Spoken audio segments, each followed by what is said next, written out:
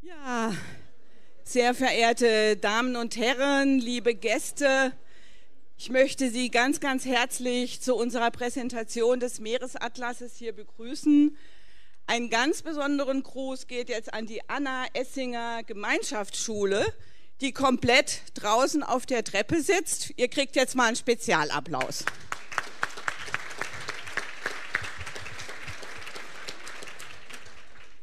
Ja, noch einmal, wir freuen uns sehr über diese doch äh, auch uns überraschende große Resonanz. Das Thema Meer, ja, es interessiert uns mehr und mehr, was gut so ist. Wir haben den Meeresatlas auch unter anderem deshalb in die Welt gesetzt, weil wir der Meinung sind, dass wir dringend informiert sein müssen und aufgeklärt sein müssen darüber, was wir Menschen äh, dem Meer antun, aber wie wir eigentlich mit diesem Meer in Frieden leben müssten, wenn wir denn eine Zukunft auf diesem Planeten haben möchten. Wir haben diesen Meeresatlas mit der Landesstiftung der Heinrich-Böll-Stiftung in Schleswig-Holstein ähm, auf die Beine gestellt und vor allem von der wissenschaftlichen Seite her mit der geballten Expertise des Kieler Exzellenzclusters Ozean der Zukunft äh, zusammengestellt und wir haben ihn bereits hier am 10. Mai den Medien vorgestellt und erst vor wenigen Tagen bei der UN-Konferenz, äh, der Meereskonferenz äh, bei der UNO letzte Woche auch auf Englisch, äh, was ja mehr oder weniger zeigt, dass wir als Bildungseinrichtung unsere Aufgabe zu informieren und aufzuklären nicht nur auf Deutschland beziehen. Mit den Meeren ist das größte zusammenhängende Ökosystem der Welt bedroht, weshalb es für uns als internationale Stiftung auch eine zentrale Aufgabe ist, international äh, zum Problem der Meere zu informieren, was sind die Ursachen für die Zerstörung der Meere, was sind die Ursachen für die Verschmutzung, für die Vermüllung, für die Erwärmung der Meere, der Überfischung, des Meeresspiegelanstiegs, was tun wir diesen Meeren eigentlich an und was sind Lösungsansätze. Auch das, denke ich, werden wir heute Abend diskutieren. Und wir als Heinrich-Böll-Stiftung werden diesen Atlas, ich hoffe es sehr, nicht nur auf Englisch übersetzen, sondern auch ins Spanische, Französische, andere wichtige Sprachen. Und wir werden unser globales Netzwerk der Heinrich-Böll-Stiftung mit über 33 Auslandsbüros eben auch nutzen, um diese Informationen, um die Aufklärung in die ganze Welt zu tragen. Heute Abend wollen wir im Wesentlichen einige Kapitel aus dem Meeresatlas präsentieren. Das werde ich gleich mit in einem Gespräch mit Professor Dr. Martin Fisbeck tun. Äh, und wir werden dann ein, mit einem Podium mit unseren Gästen Heike Vesper, Frank Schweigert und Steffi Lemke vor allem auch politische Lösungsansätze diskutieren äh, und darüber diskutieren, unter anderem auch, was denn diese Meereskonferenz, die erste in der UN-Geschichte, überhaupt gebracht hat. Wir steigen jetzt aber ein in das, was äh, wir versucht haben, über diesen Meeresatlas zu vermitteln. Und da fangen wir natürlich zuallererst damit an, äh, dass uns Martin Fisbeck, noch einmal Sprecher des Kieler Exzellenzclusters Ozean der Zukunft und unser Kooperationspartner, Ihnen die wichtigsten Daten und Erkenntnisse ähm, zur Verfügung stellen wird.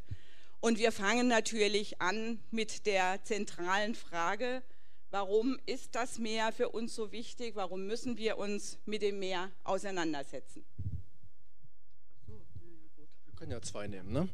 Ja, äh, ganz herzlich willkommen auch von meiner Seite. Es freut mich sehr, dass wir so einen großen Kreis von interessierten Meeresschützern, Forschern, Interessierten hier äh, bei uns haben in Berlin bei der Stiftung. Ganz herzlichen Dank dafür. Es war uns eine große Freude, zusammen äh, mit äh, der Böll Stiftung äh, diesen Atlas zu erstellen und auch ein Stück weit ein Anliegen. Denn äh, ich als Meeresforscher bin schon seit vielen Jahren unterwegs in der Meeresforschung und äh, ich sehe auch selber über meine Forschungszeit, dass sich das eine oder andere im Meer verändert. Wir untersuchen das natürlich in der Forschung und da gibt es natürlich verschiedene Themen, die man ansprechen kann. Vielleicht fangen wir bei dem an, äh, wo ich selber aktiv bin. Ich bin physikalischer Ozeanograf am Geomar, dem Helmholtz-Zentrum für Ozeanforschung in Kiel. Ich lehre also mit, äh, für die Studentinnen und Studenten Themen wie Strömung im Ozean Temperaturen im Ozean, oben warm, unten kalt, Salzgehalt im Ozean und dabei insbesondere, wie die reagieren und sich ändern äh, im Klimasystem. Sowohl durch natürliche Schwankungen bei El Niños oder Änderungen des Windfeldes als auch im Klimawandel.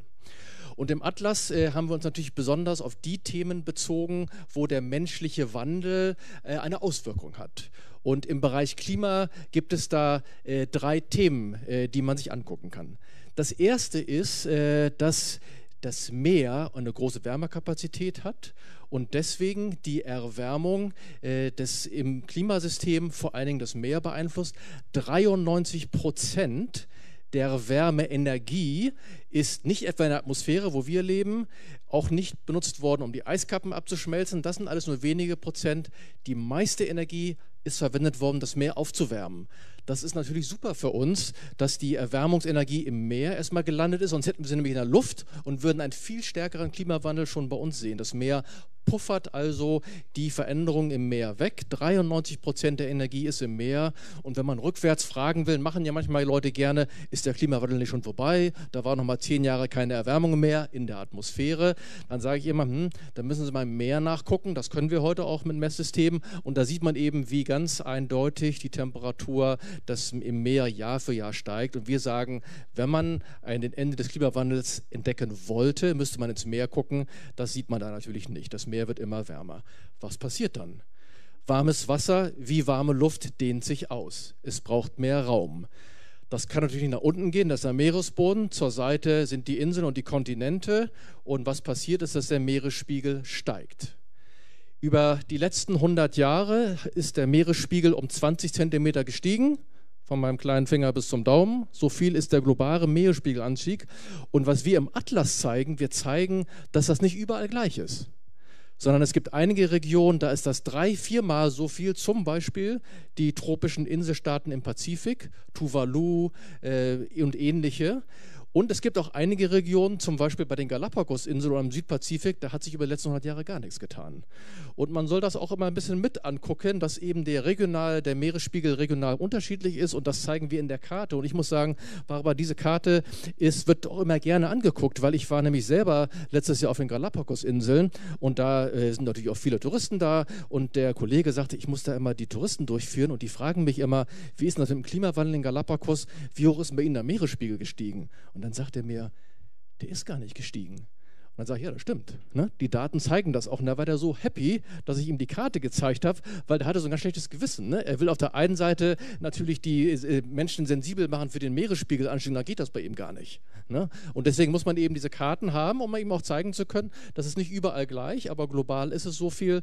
Und die Forschung arbeitet sehr stark daran, herauszufinden, wie in den nächsten 50 Jahren das darstellen wird. Da haben wir noch keine sicheren Aussagen. Gut, aber wir können ja zeigen, was es gibt. Für den Meeresspiegel ist ja nicht nur die Erwärmung verantwortlich, verantwortlich, sondern auch das Schmelzen des Festlandeises. Äh, das ist natürlich auch eine Verursachung von Meeresspiegel. Und wichtig ist, so wie, wie das auch auf Land passiert, diese Durchschnittszahlen, über die wir immer sprechen, beim Meeresspiegelanstieg, bei der Erderwärmung, die sind lokal und regional sehr unterschiedlich. Vielleicht noch mal was, welche Temperaturen denn mittlerweile in der Arktis und Antarktis gemessen genau. werden und was das bedeutet. Super Thema. Wir haben eben jetzt nur eben die Erwärmung des Ozeans selber gehabt. Natürlich ist die Klimaerwärmung findet auch an Land statt und wir merken vor allen Dingen, dass im Abschmelzen der Gletscher, insbesondere in Gebirgsgletschern, in Alpen sieht man das ganz deutlich, aber auch fast alle an Gebirgsgletscher gehen enorm zurück. Himalaya, es gibt ganz wenige noch, die noch ein bisschen stabil sind.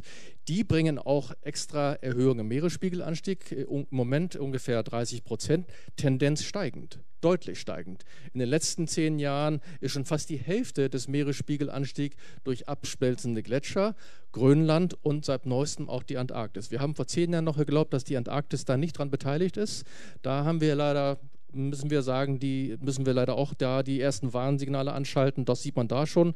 Und äh, dort in, der, in, den hohen Breiten sind eben die Temperaturen global gemittelt 0,8 Grad, da oben fast schon 2. Und diese Erwärmung bedeutet eben, dass die Gletscher dort schmelzen. Nicht nur das Meereis, das hat keine Auswirkungen auf Meeresspiegel, aber das am Land, vor allem in Grönland, der Eispanzer schmilzt sehr deutlich. Zum Teil im Sommer schon der ganze Eispanzer geschmolzen. Das hat es vor 50 Jahren noch nie gegeben. Äh, das sind einfach neue Signale, die ganz deutlich sind, weil die Arktis eben so sensibel ist und auch besonders stark sich erwärmt. Äh, ja, vielleicht. Also was wir im Atlas versuchen, es sind nicht nur die ökologischen Folgen darzustellen und die Folgen für die Ökosysteme, für die Biodiversität, sondern auch die sozialen Folgen. Der Meeresatlas beschreibt natürlich auch, was es bedeutet, äh, wenn der Meeresspiegel steigt. Vielleicht da auch noch ein paar Daten und Fakten. Wer ist denn betroffen von diesem Meeresspiegelanstieg? Äh, in erster Linie sind natürlich alle die betroffen, die in Küstennähe leben. Äh, immerhin sind das äh, im Moment äh, 80 Prozent der Weltbevölkerung lebt nicht weiter als 150 Kilometer weg von der Küste. Tendenz massiv steigend. 13 äh, von 15 Megastädten sind alle Küstenstädte. Das, die, die Verstädterung ist enorm hoch und die höchste Zuwachsraten der Bevölkerungsdichte ist in den Küstenregionen. Das bedeutet natürlich zum einen, dass dort auch äh, viele Umbaumaßnahmen in Küstenbereichen stattfindet, aber auch, dass die Vulnerabilität zum Meeresanstieg dort besonders hoch ist. Politisch gesehen sind die kleinen Inselstaaten diejenigen, die zum Teil nur einen halben Meter Freibord haben. Wenn dort der Meeresspiegel mehr als einen halben Meter steigt, sind die landunter im Wesentlichen. Und das ist politisch sehr spannend, weil man könnte ja sagen, wir müssen ein bisschen Deiche bauen, aber die Vereinten Nationen sagen, ein Land, was im Mittel unter Wasser ist, ist kein Land mehr.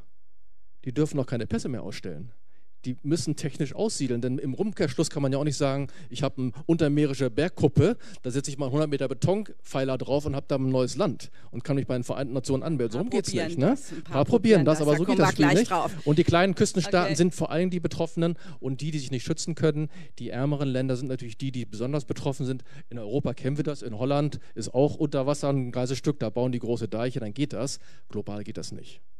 Einmal kann, denke ich, zu dem, was die Meere für uns an Klimarelevanz haben, zusammenfassen, dass sie eine wichtige Quelle sind, die die Erderwärmung absorbieren. Sie sind eine, zu 25 Prozent des globalen CO2s wird absorbiert und gleichzeitig mit der Erwärmung reduzieren wir ja die Fähigkeit der Meere, genau diese Funktion zu übernehmen, nämlich CO2 und Wärme aufzunehmen.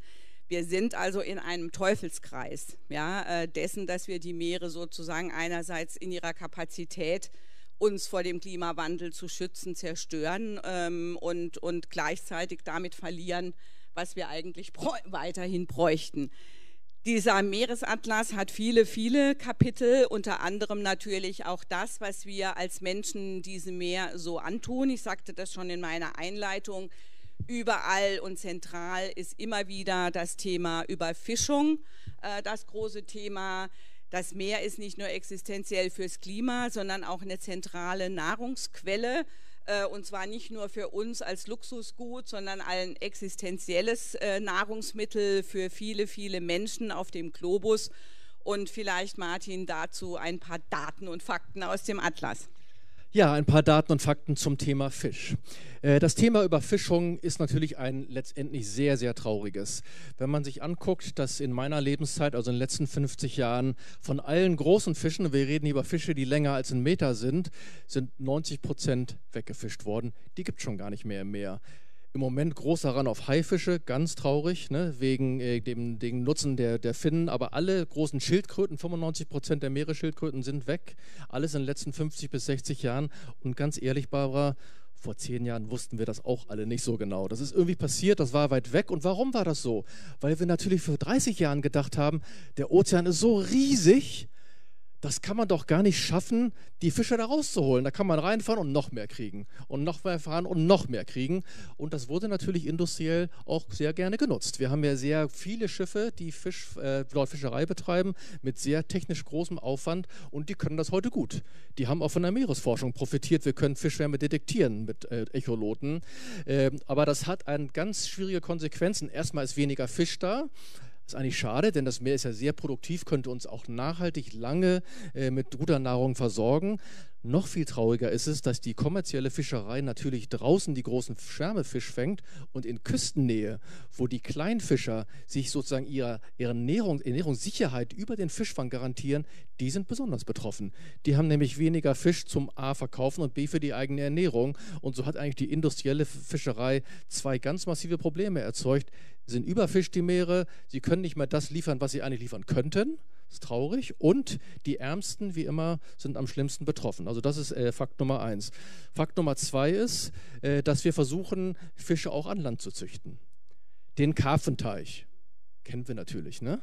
Äh, wolltest noch dann kann ich mal sagen, zu Fischschwärmen. Genau. 20 Prozent der Fischschwärme sind überfischt, das heißt, wir fischen sehr viel mehr. Die sind sozusagen schon so klein, dass sie mehr gar nicht da sind. Der mittlere Bleich, der hellblaue, der sagt voll genutzt. Voll genutzt ist nicht unbedingt schlecht, äh, wenn man das mit einem sicheren Margen macht. Das ist so ein bisschen unklar, aber eigentlich, wenn man sagen möchte, wir haben demnächst sieben Milliarden Menschen, äh, acht Milliarden Menschen auf dem Planeten, dann wollen wir natürlich die Fischerei möglichst voll nutzen, aber voll mit Sicherheitsabstand. Das ist nicht immer der Sicherheitsabstand Abstand da und nur noch wenige, 10 Prozent, sind gar nicht genutzt. Das heißt, wir sind massiv unterwegs im Ozean, wir nutzen den komplett, so wie an Land bei uns in der Kultur, aber nicht klug.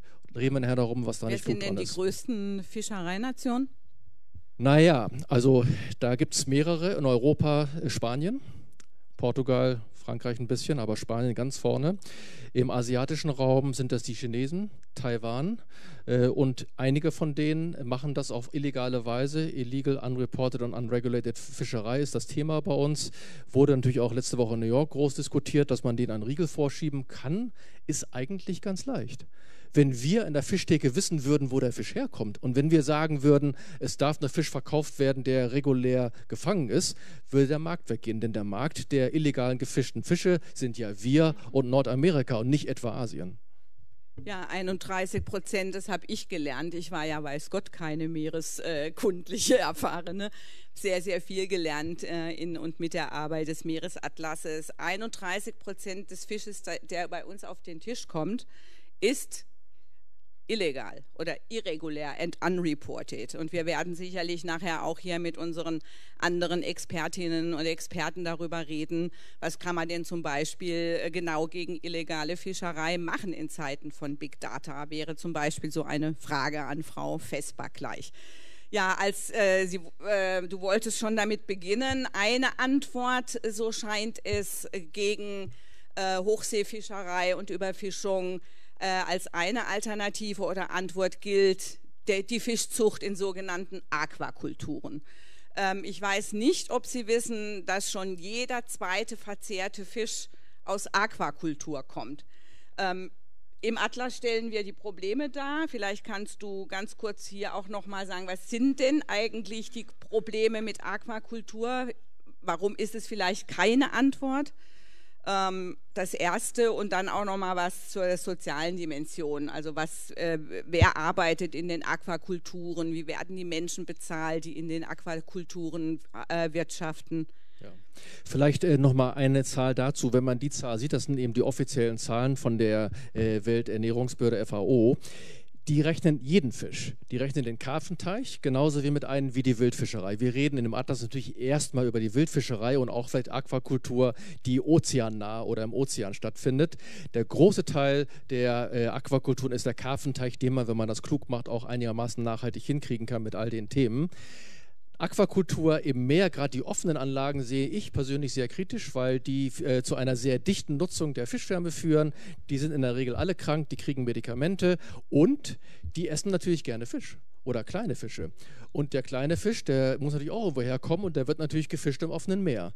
Das heißt, die Aquakulturanlagen, viele von denen, die den Edelfisch, den wir gerne mögen, zum Beispiel Lachse oder Audoraden, äh, die werden angefüttert durch vielen kleinen Fisch und ist relativ ineffizient. Jetzt kann man natürlich sagen, wir können das auch an Land machen. Äh, das gibt es auch. Hier bei uns sind die Anlagen super energieintensiv, plus die brauchen ganz viel anderen Fisch. Würde man sagen, ernährungssicherungsmäßig gar nicht so schlau.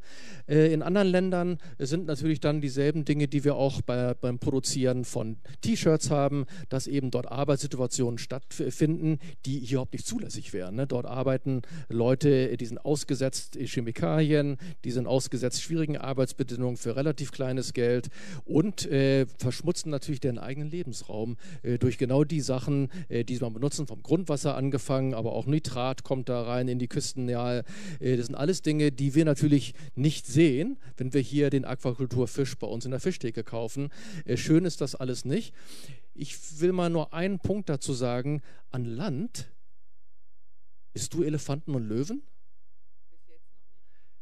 Aber wir essen aber alle gerne die großen Lachse. Die sind aber in der, in, der, in der Ernährungspyramide auf der Stufen, wo Elefanten und Löwen sind. An Land essen wir aber die, die noch Fleisch essen. Mehr vielleicht Kaninchen oder vielleicht, äh, nein, Kaninchen nicht so viel, aber Schweine oder auch kleinere Tiere. Das wären sozusagen die kleinen Fische am Meer. Die will aber hier keiner haben. Und noch besser wäre Marikultur, also die Pflanzen äh, aus dem Meer. Die sind bei uns überhaupt verpönt. Vielleicht müssen wir ein Stück weit auch mal darüber nachdenken, muss es denn wirklich der große Finnfisch sein, den wir essen? Oder könnte man sich auch vorstellen, tiefere trophische Level? Und da ist noch so ein anderer Lösungsansatz. Es gibt aber auch Aquakulturen, die sind ein bisschen ganzhaltig ne? mhm. und die sind vielleicht ein bisschen besser. Da ist der WWF drauf spezialisiert. Ähm, gibt es nachhaltige Aquakultur? Wie sieht die aus? Es ist definitiv äh, eine Frage auch ähm, an Sie alle äh, gleich. Wir wollen ja jetzt erstmal so ein paar Daten und Fakten ähm, feststellen. Wir holzen auch die Mangroven großflächig ab für Aquakulturen und so weiter. Also das beschreibt der Atlas auch. Neben dem Klima, ähm, der Klimapumpe mehr, äh, der, dem Nahrungslieferanten mehr, äh, sind wir da natürlich auch im Atlas bei all den Themen, mit denen wir als Menschen auch noch für dahin, sind ja alles menschengemachte Probleme, äh, die Meere, den Meeren eine Zumutung zufügen durch Gülle, Müll, ähm, jedweder Art, durch äh, Überdüngung äh, und so weiter. Und natürlich, das ist ja groß in den Medien, über den Plastikmüll vor allem. Vielleicht hier auch einfach ein paar Trends, Tendenzen, was passiert eigentlich in dem Bereich äh, von Landwirtschaft bis Plastikvermüllung? Ja. Äh, weites, großes Thema. Ne? Das ist eben all die Dinge, die in unserer auch zunehmend industrialisierten Welt an Abfall anfangen und nicht ordentlich entsorgt werden. Aber wir fangen mal mit Gülle vielleicht an. Ich meine, wir sind ja äh, als Menschen sehr erfolgreich, sind ja sehr viele von uns unterwegs und wir können deswegen Ernährungssicherheit darstellen, weil wir durch Kunstdünger und Dünger überhaupt viele landwirtschaftliche Flächen sehr produktiv gestalten. Das ist ja grundsätzlich erstmal positiv. Aber es gibt so eine Tendenz, dass man in der Landwirtschaft natürlich sagt, naja, wenn meine Parzelle mehr abwerfen kann, ist das ökonomisch gut. Und da ist so ein bisschen viel hilft viel. Da wird eben ein bisschen mehr gedüngt, weil dann funktioniert es auch, wenn vielleicht die natürliche Düngung nicht so gut da ist kommt dann der große Regen, äh, wird dann die Gülle eben aus die, ins Grundwasser reingespült oder direkt in die Flüsse und viele dieser Nährstoffe landen natürlich im Küstenraum in den Meeren. Was machen die da? Dort düngen sie natürlich weiter. Äh, sie führen zu einem starken Planktonwachstum, starkes Wachstum in den Meeren. Die Plankter äh, sterben ab, fallen weiter runter ins Meer und dort verrotten die äh, brauchen Sauerstoff und wir kriegen, wir ver verlieren den Sauerstoff im Meer. Und gerade auch in der Ostsee, in den tiefen Bereichen, gibt es eben diese Todeszonen, also Zonen, das Meer ist nicht Eutrophierung tot. Aber Eutrophierung das, ne? heißt das bei uns, aber ähm, die die Auswirkung ist da ein Verlust zum Beispiel des äh, Sauerstoffs in den Meeresgebieten mit katastrophalen Folgen für das Ökosystem, zum Beispiel auch für die Fischerei. Das gibt es auch bei uns und Deutschland ist da auch in, äh, glaube ich, äh, Verstößung gegen EU-Richtlinien. Wir versuchen jetzt ja sehr hart, das bei uns besser durchzusetzen. Das passiert weltweit. Insbesondere natürlich die Produktion von Fleisch. Äh, die braucht sehr viel äh, Fläche und erzeugt viel Gülle, äh, ist ein Problem. Weitere Probleme sind Schwermetalle, alle Vielleicht anderen Gifte. noch mal, also nee. wir haben, glaube ich, im äh, Entschuldigung, im, im äh, Meeresatlas aufgezeigt, ne? Und ich, äh, das sind sie die 60 Todeszonen. Es gibt auch natürliche Todeszonen, das habe ich auch gelernt. Aber die, die wir hier zeigen, das sind die menschengemachten. Und man sieht hier sehr, sehr deutlich, dass sie eben vor allem auch an Flussmündungen äh, am Mississippi, na, äh, am Ganges, vor allem am Mekong, na, wo die ganzen Chemikalien, Düngelasten etc. in die Meere münden und dann zu diesen großflächigen äh, Todeszonen führen. Das sind zum Teil riesige Flächen, das muss man einfach das sagen mittlerweile. Riesige Flächen, das finden wir auch im Mittelmeer und das hat vor allen Dingen auch äh, zwei Auswirkungen, die wir auch äh, nicht vernachlässigen sollen. Ökonomisch gesprochen ist für uns der Küstenraum sehr wichtig. Tourismus reden wir nachher vielleicht noch drüber. Aber wer möchte denn an den Strand fahren, wo das Meer unbekippt ist? Das ist zum Teil auch richtig gefährlich. Dort gibt es nämlich Algen, die Atemgifte erzeugen. Also jeder, der so ein bisschen Asthma hat, für den ist das wirklich lebensgefährlich, an den Strand zu gehen. So sind eben diese Todeszonen nicht nur schwächt äh, für das marine Ökosystem, sondern auch für uns in Strandnähe. Tendenz leider steigend, äh, schwierig. Anderes Thema Plastik. Ich meine, das Thema Plastik ist ja eines, äh, wir waren nun gerade letzte Woche in Amerika, Steffi wird es auch erinnern, da merkt man schon den Unterschied, ne? da, wie viel Plastik man da jeden Tag irgendwie da so aufgetischt kriegt. Äh, wir haben das mal im Meeresatlas gezeigt, äh, wo das Plastik so herkommt und vor allen Dingen, wo Plastik überhaupt nicht recycelt wird. Bei uns wird ja viel von dem Plastik glücklicherweise noch recycelt, immer noch für meinen Geschmack zu viel da, aber wir haben ja noch so eine Wirtschaft, wo man das wieder aufnimmt. Äh, da sieht man jetzt, wo es hinkommt, äh, können wir auch zuerst besprechen und dann kann man zu den Quellen. Und was passiert? Das, das Plastik kommt ins Meer, 80 Prozent über die Flüsse und wird mit der Strömung verteilt. Ich als Meeresforscher kenne diese Strömung sehr genau und da gibt es so eine besondere Eigenschaft in Mitte dieser großen Zir äh, Gieren, nennen wir das, oder Dryas, diese Zirkulationsmuster. Genau in der Mitte sinkt das Wasser ein bisschen ab. Das Wasser geht runter und alles, was schwimmt, kann natürlich nicht runter und sammelt sich da. Und dann kriegen wir diese sogenannten Müllinseln ehrlicherweise, die Müllinseln sind jetzt nicht so, wenn man da hinfährt, dass man nur noch durch Plastik schwimmt. Das ist an den Flussmündungen so. Da draußen ist aber schon mehr Plastik und was uns zunehmend Sorgen macht, ein Teil des Plastiks fällt runter auf den Meeresboden, überall in 10 Kilometer Tiefe, in der Arktis, überall ist Plastik am Boden und äh, große Sorgen, weil auch wenig erforscht sind, die sogenannten Mikroplastiks, die auch bei uns in den Kläranlagen nicht rausgefiltert werden, sondern bei uns auch über die Flüsse in die Ozeane reingehen. Kleinste Plastikfasern von, äh, von Plastik-Kunststoffjacken, äh, die wir zum Teil haben, von vielen anderen Dingen äh, gibt es diese kleinen Plastikpartikel und Fasern. Gibt es auch in Kosmetik, glaube ich, brauchen wir eigentlich gar nicht. Äh, in der Zahnpasta auch, braucht man auch nicht. Gibt es viel bessere Möglichkeiten. Aber dieses Plastik geht ins System, wird äh, von den Fischen und Nahrungslebewesen äh, dort aufgenommen zum Teil auch eingelagert in den Muskelfasern. Wir glauben auch, einige der Plastikarten ziehen auch andere Schadstoffe an und wir essen das nachher. Und da kann man sich schon fragen, will man das? Ist das gesund für uns? Ich behaupte mal, würden wir alles gerne nicht haben wollen. Plastik ist ein ganz interessantes Thema. Es ist aus meiner persönlichen Sicht nicht das schlimmste Problem, aber es ist sehr, sehr sichtbar. Wer möchte schon am Strand gehen? Überall liegt da Plastik rum, in Asien ganz besonders. Und dann kommen wir zur nächsten Grafik. Da sieht man nämlich, wo das herkommt. Und wir stellen fest, dass gerade die haben sich. Nicht, ach, haben wir gar nicht. nicht Macht aber nichts, sage ich mal nur so. Äh, die meisten Einträge ins Meer kommen aus dem asiatischen Raum, ein super schnell entwickelndes Land. Dort ist Plastik sehr beliebt und eben kein Recycling. Da landet ganz viel in den Müllsystemen und damit im Meer. Und das sind gigantische Mengen, die wir da kriegen. Es gibt so Schätzungen, ob die nun ganz seriös sind, das aber nur mal so plakativ kann man sich das vorstellen. Vielleicht sind wir in 30 Jahren so weit, dass wir mehr Plastik im Meer haben als Fische. Äh, und das wäre jetzt was, wo ich denken würde, wow, da wollen wir aber irgendwie nicht hin. Äh, und was kann man dagegen tun? Natürlich vernünftige Recyclingwirtschaft. Nicht nur bei uns, sondern in allen Ländern der Welt oder eben Plastik vermeiden. Ja, nochmal ein kleiner Werbeblock. Wir haben seit heute auf der, über die Website einen YouTube-Film, der unter anderem zeigt, wie man Plastik einsparen kann, wie sie anders einkaufen können, wie man Verpackung vermeiden kann. Das ist jetzt wieder der klassische Appell an den Konsumenten oder an die Konsumentin. Darüber werden wir natürlich auch reden. Aber wichtig ist erstmal, dass die Politik darauf reagiert. Auch das werden wir nachher sicherlich hier gemeinsam ähm, mit unseren weiteren Gästen diskutieren. Ja, soweit äh, denke ich erstmal eine sehr alarmierende Bilanz äh, von dem, was wir bislang äh, als Menschen mit dem Meer gemacht haben. Äh, aber es gibt noch einen obendrauf. Äh, mittlerweile ist das Meer auch als Rohstofflager attraktiv. Im Meer gibt es sehr, sehr viele äh, wertvolle Rohstoffe, ähm, die wir auch gerne für unsere Smartphones und anderen Hightech-Geräte äh, nutzen wollen.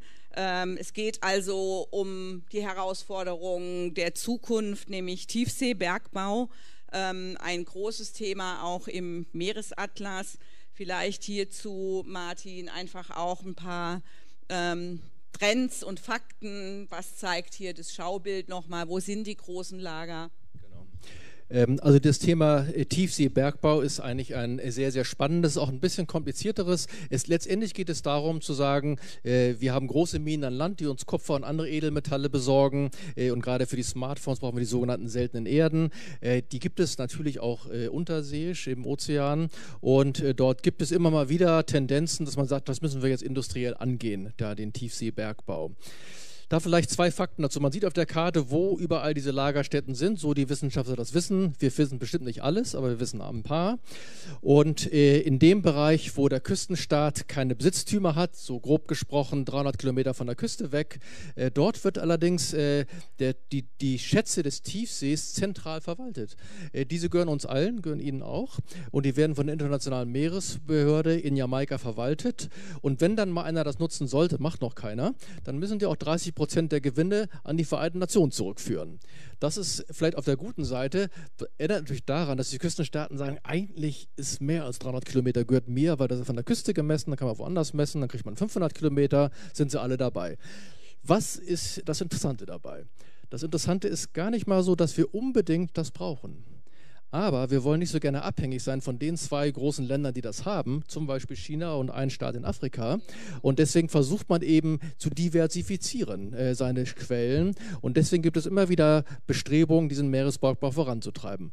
Man kann vielleicht zum Glück sagen fürs Meer noch, dass es im Moment nicht rentabel ist. Das mag in 20 Jahren anders sein. Unser Appell in der Forschung ist zu sagen, bevor man jetzt mit sowas anfängt, was sehr viel Schäden dem Tiefseeökosystem zufügen würde, sollte man doch erstmal überlegen, wie man die Schutzregeln da macht und wie man überhaupt das reglementiert. Und dort wird jetzt langsam angefangen dran zu arbeiten, aber wir sagen natürlich äh, Vorsorgeprinzip. Äh, wenn man jetzt das meint, das muss das Meer auch noch kaputt machen für die Bodenschätze, äh, das halte ich für schwierig. Vielleicht ein paar Fakten dazu die Tiefsee, und da reden wir jetzt drüber, genau. wir reden über Was Tiefen die 2000, und die Risiken? 6000, 2000 bis 6000 Meter Tiefe. Äh, dort hat Deutschland vor 25 Jahren einen Versuch gemacht, äh, als Meeresbergbau schon mal interessant war in Deutschland. Und dort haben also Kollegen mit einer Egge hinterm Forschungsschiff in drei Kilometer Wassertiefe einmal ein Kilometer mit 50 Eggenzügen da so durchgeflügt, um zu simulieren, äh, was dann so passieren würde, wenn es Tiefseebergbau gibt. Immer Manganknollen zum, Zum Beispiel. Beispiel ja. Manganknollen, nicht? genau. Und dann kommt dabei raus, die sind jetzt wieder hingefahren vor einem Jahr, man sieht noch jeden Eggezug. Da hat sich nichts zurückgebildet. Heute wissen wir warum. Die Organismen in der Tiefsee sind extrem langsam. Ein Tintenfisch brütet vier Jahre auf seinen Eiern. Der sitzt vier Jahre in der Tiefsee, brütet daran, bevor das Ei geschlüpft ist. Es gibt Tiefseeorganismen, die werden nach 300 Jahren geschlechtsreif. Und es gibt sogar Einteiler, die aber links in dem Meeresboden sind, die haben eine Zellteilung alle 500 Jahre.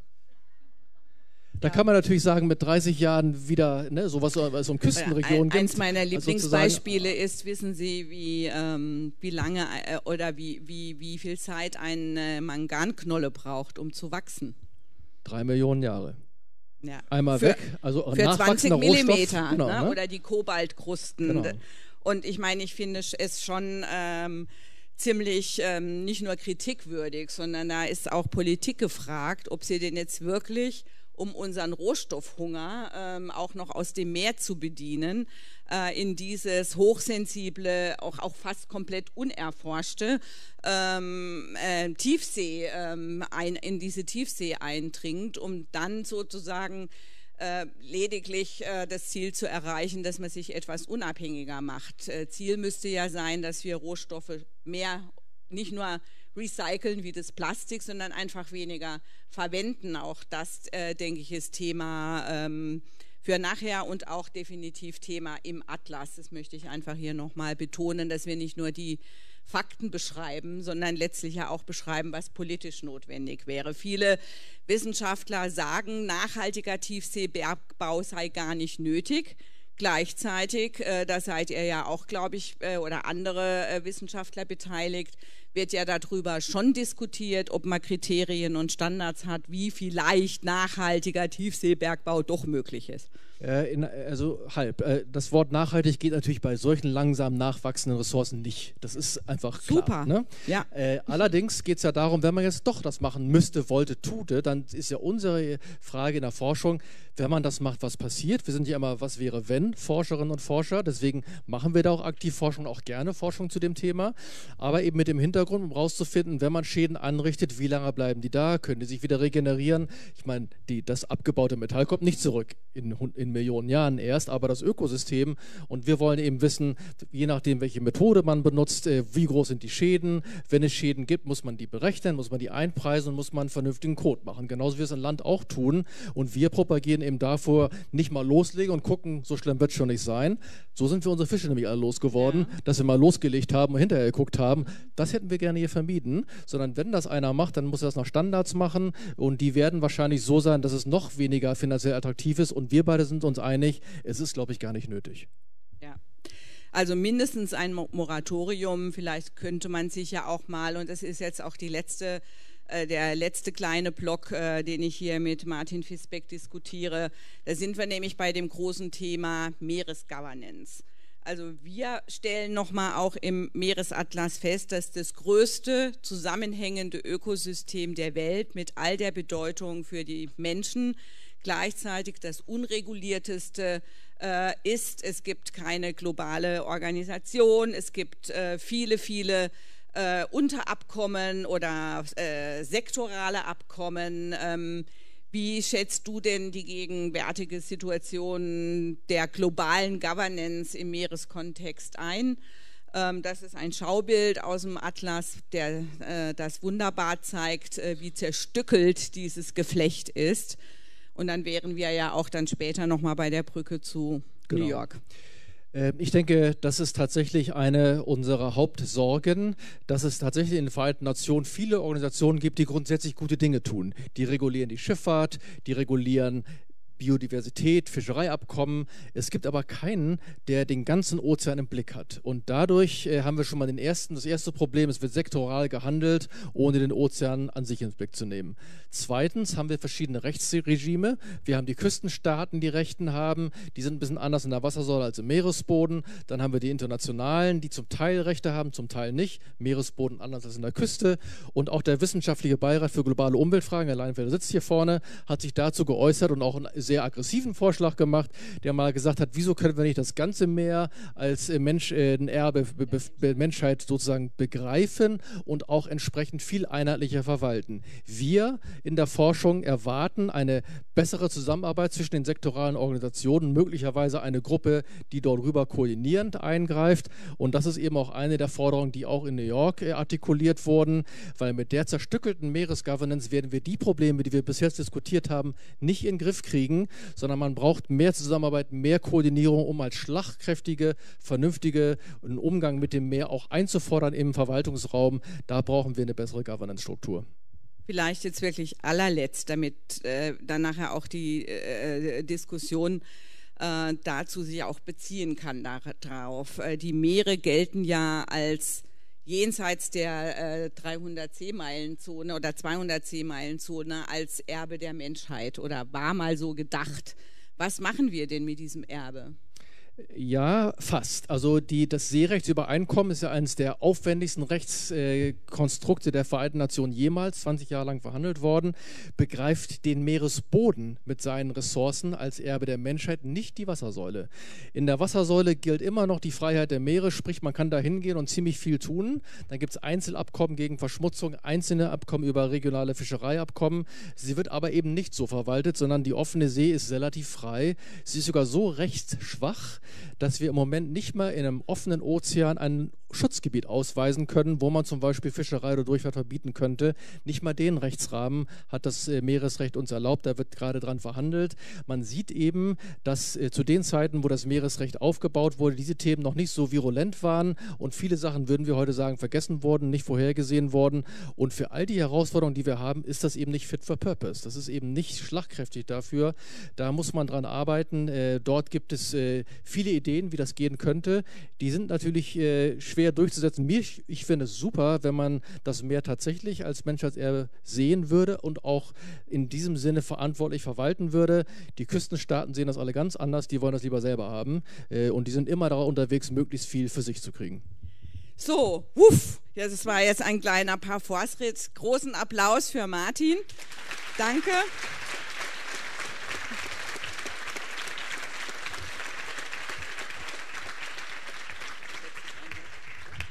Ja, und wir werden jetzt äh, zu einzelnen Fragen, die hier schon ähm, angesprochen waren, auf jeden Fall ähm, in die Tiefe gehen und weiter diskutieren.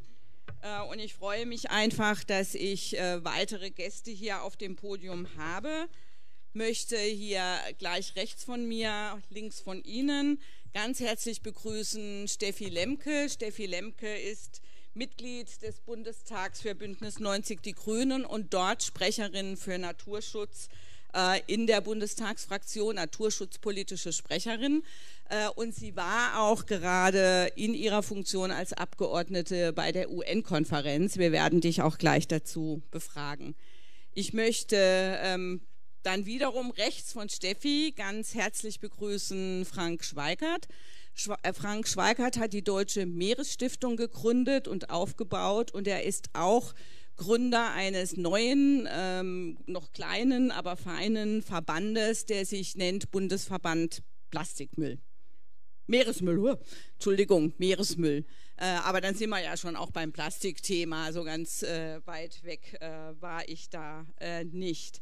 Ja, und dann ebenfalls ganz, ganz herzlich willkommen Heike Vesper. Heike Vesper ist die Leiterin äh, des Internationalen Zentrums für Meeresschutzes des WWF Worldwide Fund for Nature. Herzlich willkommen euch dreien. Schön, dass ihr mit uns diskutiert. Bitte begrüßen Sie mit uns diese.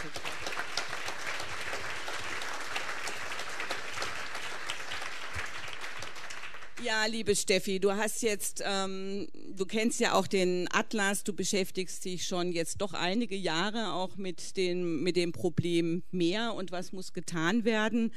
Ähm, es gab ja doch einige Hoffnungen, dass mit dieser ersten UNO-Konferenz äh, in New York jetzt zum Meeresschutz es vielleicht einen Aufbruch gibt äh, dafür, dass die Staatengemeinschaft es endlich ernst meint mit dem Meeresschutz und da kommt ja immer noch hinterher der nachhaltigen Nutzung äh, der Meere sind ja zwei Ziele.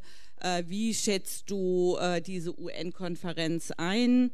Ähm, hat sie gehalten, was sie versprochen hat? Ist sie der gewünschte Aufbruch? Wie siehst du das?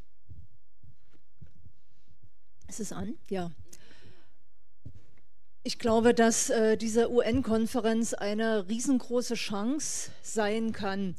Und meine Betonung liegt auf der Möglichkeitsform. Auf der Konferenz selber ist erstmal noch überhaupt nichts Verbindliches passiert, noch nichts, was unmittelbar Wirksamkeit äh, erlangen wird. Es hat einen sogenannten Call for Action gegeben mit einer ganzen Reihe von Unterpunkten.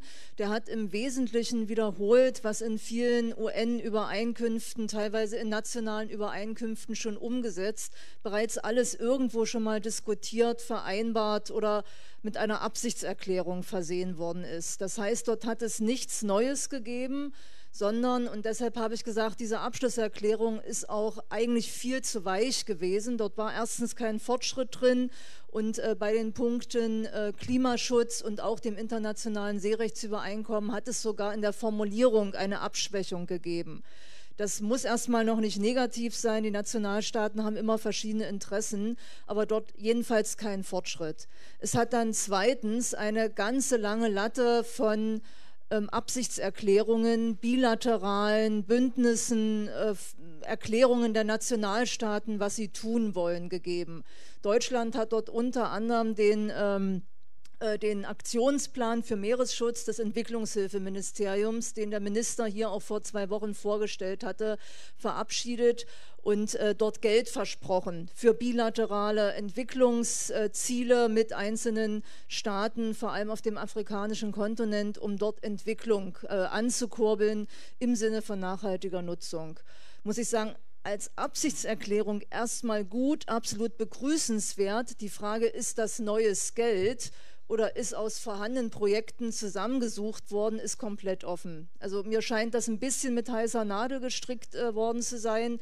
Es gibt für mich bisher keine Klarheit, ob diese, ich glaube, 25 Millionen in den Haushaltsberatungen im September als sogenanntes frisches Geld beantragt werden oder ob man irgendwo was übrig gebliebenes einsammelt und das dort mal eben äh, zurechtschustert. Das heißt auch dort eine Möglichkeitsform. Es kann daraus was richtig Gutes erwachsen, aber es ist komplett offen, ob das passiert.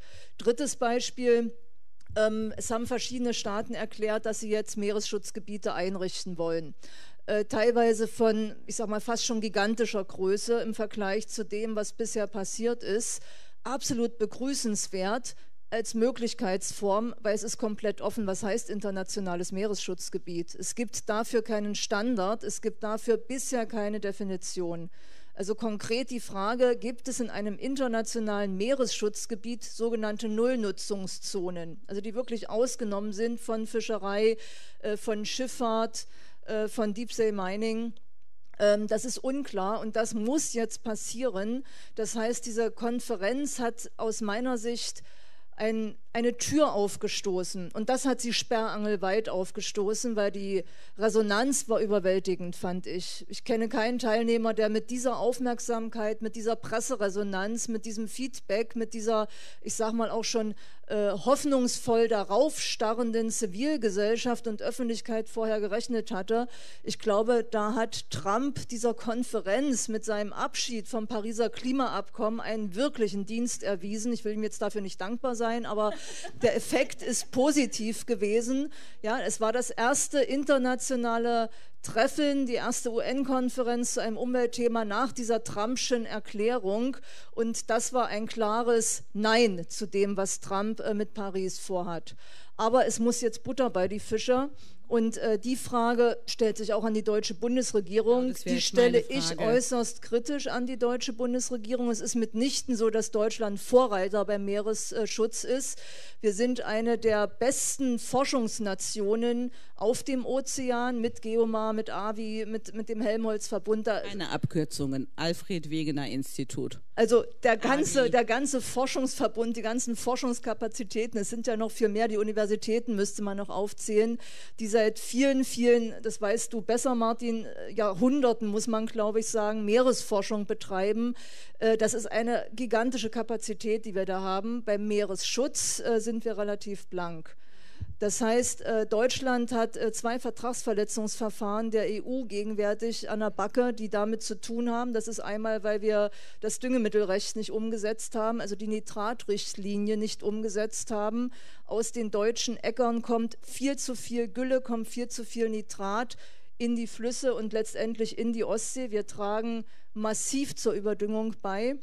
Und das zweite Vertragsverletzungsverfahren existiert, weil Deutschland seiner erklärten Pflicht, Meeres, ein Meeresschutzgebiet auszuweisen, in nationaler Verantwortung bisher nicht nachgekommen ist. Dort sind wir mehrere Jahre säumig, dieses konkret umzusetzen. Und dazu wird der Deutsche Bundestag am nächsten Donnerstag auch ganz konkret beraten, äh, im Plenum das Bundesnaturschutzgesetz novellieren, was dafür ein Stück Rechtsgrundlage schaffen soll. Und da befinden wir uns gerade mit einem gigantisch, in einem gigantischen Clinch äh, mit dem Umweltministerium, weil sie dort den sogenannten Nutzerressorts, also Wirtschaft, Forschung gehört in diesem Sinne auch zum Nutzerressort, äh, Verkehr und Landwirtschaft, die für die Fischerei zuständig sind, ein sogenanntes Vetorecht einräumen will bei der Ausweitung, Ausweisung dieses Meeresschutzgebietes. Und das ist für mich No-Go. Also das wäre ein, ein Rückschritt für das äh, Naturschutzrecht. Ich bin der Meinung, es wird ja kein komplettes Nullnutzungsgebiet sein, dass man sich dort auch mit den Nutzerressorts einigen muss, einigen kann. Aber dafür muss man nicht das Gesetz so aufweichen, dass es ein Vetorecht gibt. Ja, soweit erstmal herzlichen Dank. Ähm, gerne. Kommen wir auf jeden Fall sowieso auch noch zurück bei, bei auch beim Plastikthema und so weiter. Was macht da die Bundesregierung? Äh, Frau Vespa, Sie haben ja auch die UN-Konferenz äh, ganz gut beobachtet. Sie arbeiten mit, mit und beim BWF seit vielen Jahren unter anderem zu einer der Kernforderungen, dass das Meer dringend breitere, größere Schutzzonen braucht. Nur 3,5 Prozent der Meere äh, sind geschützt und in den Schutzzonen darf man auch noch nutzen, bis auf wenige Ausnahmen. Äh, das gilt ja nicht nur für Deutschland, das gilt ja weltweit so. Ähm, jetzt hat die UN-Konferenz mal wieder, wie andere auch schon, mehr Schutzzonen angekündigt. Was versprechen Sie sich von diesen Schutzzonen? Erstens, warum sind sie wichtig? Und zweitens auch nochmal, äh, wie schätzen Sie da das politische Handeln dazu ein? Warum sind Meeresschutzgebiete wichtig? Gute Frage. Weil der Rest der Meere genutzt wird und man braucht immer was in Reserve. Und wir brauchen Gebiete, in denen eben keine Nutzung stattfindet, weil die dann besonders effektiv sind. Und das hat die Forschung gezeigt in den letzten Jahren, dass es auch ganz egal ist, ob diese Meeresschutzgebiete in kaltem Wasser oder im warmen Wasser sind. Da, wo der Mensch nicht eingreift, kann die Natur sich erholen und kann sehr viel mehr wieder produzieren, als sie das könnte, wenn wir auch eingeschränkt nur nutzen würden. Das ist sozusagen unser Konto, unsere Bank für die Zukunft, diese Gebiete. Und das Problem ist, dass selbst die paar Schutzgebiete, diese 3,5 Prozent global, die wir haben, mehrheitlich nicht in den Bereichen liegen, wo das Meer besonders produktiv ist, nämlich in den Küstengebieten, sondern weiter draußen. Und wir brauchen aber gerade in den Küstengebieten Schutzbereiche, damit dort die Fischbestände sich erholen können und dann wieder dafür sichern, also dafür sorgen können, dass die Leute ein Einkommen haben, die dort leben und eine Ernährungssicherheit haben.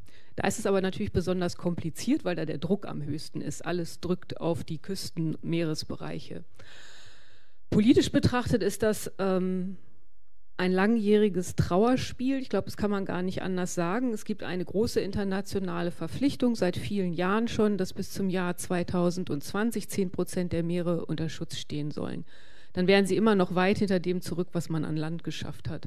Das wird ganz sicher nicht erreicht werden. Auch mit diesen Versprechungen werden wir das bis 2020 nicht haben, denn das Ziel sagt nicht nur, es muss auf dem Papier geschützt sein, sondern man muss auch tatsächlich Schutz gemacht haben. Also nicht so wie in Deutschland noch weiter weg, nah dran. Weiß es nicht. So, so, so, nicht, so.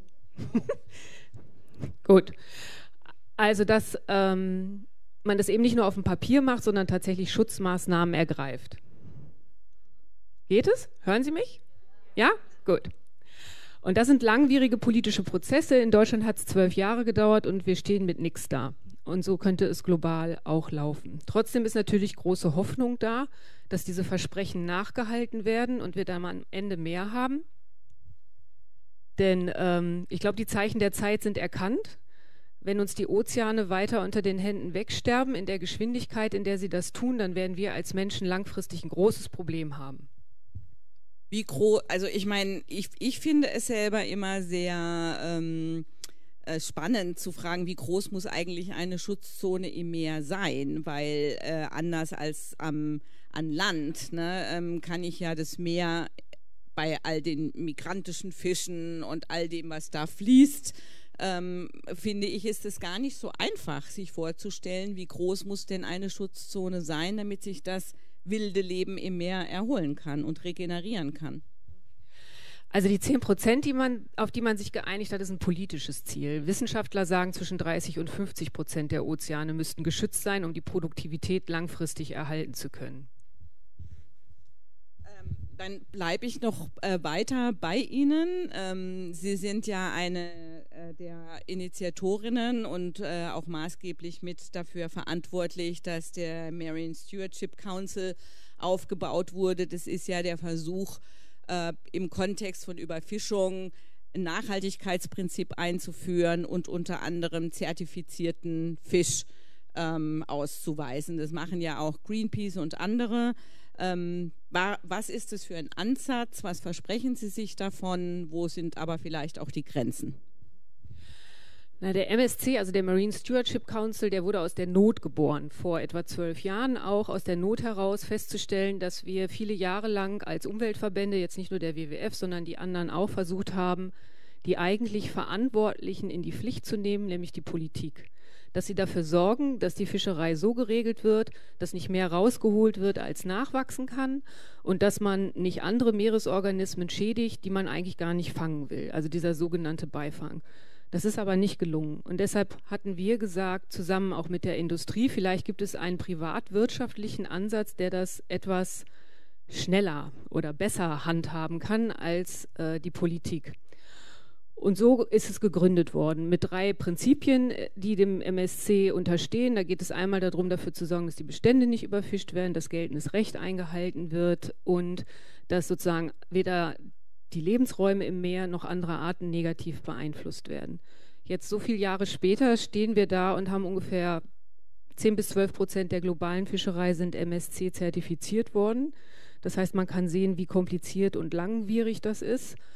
Und der MSC ist ja auch nicht ganz unkritisch so in der Betrachtung, sowohl von wissenschaftlicher Seite her als auch von anderen Akteuren, die sagen, er macht nicht immer eine gute Arbeit. Und das ist auch richtig, er macht nicht immer eine gute Arbeit. Aber aus Fehlern muss man lernen und er muss sich verbessern. Denn jetzt ist es so, dass die die Industrie tatsächlich ein Interesse gefunden hat an diesem Siegel. Und der MSC ist nicht ein Instrument der Umweltverbände, sondern ist ein sogenanntes Multi-Stakeholder-Instrument. Das heißt, viele Akteure sitzen an einem Tisch und versuchen sich zu einigen, was könnte denn Gutes dabei rauskommen? Und in solchen Fällen hat man immer einen Kompromiss, den man findet. Oft der kleinste gemeinsame Nenner. Und mit manchen dieser Dinge sind die Umweltverbände nicht einverstanden und das sind die Bereiche, in denen wir den MSC auffordern, massiv nachzubessern.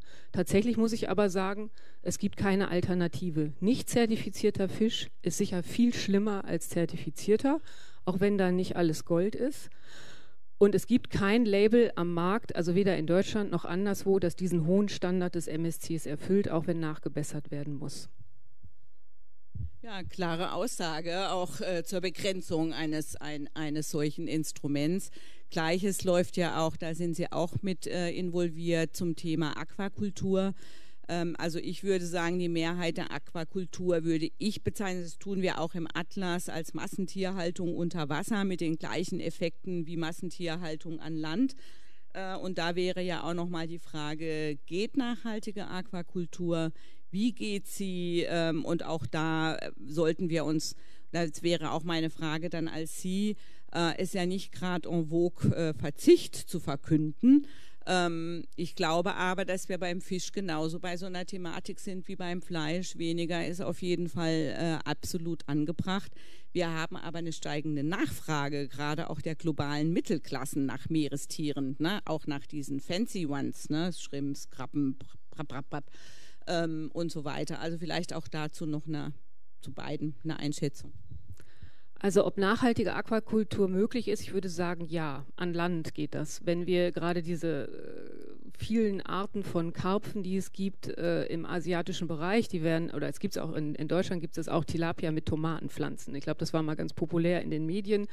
Ne, das kann man dann gemeinschaftlich halten und dann funktioniert das. Nur der, die Menge, die da produziert wird, die ist natürlich so gemessen an dem, was global an Fisch gegessen werden möchte.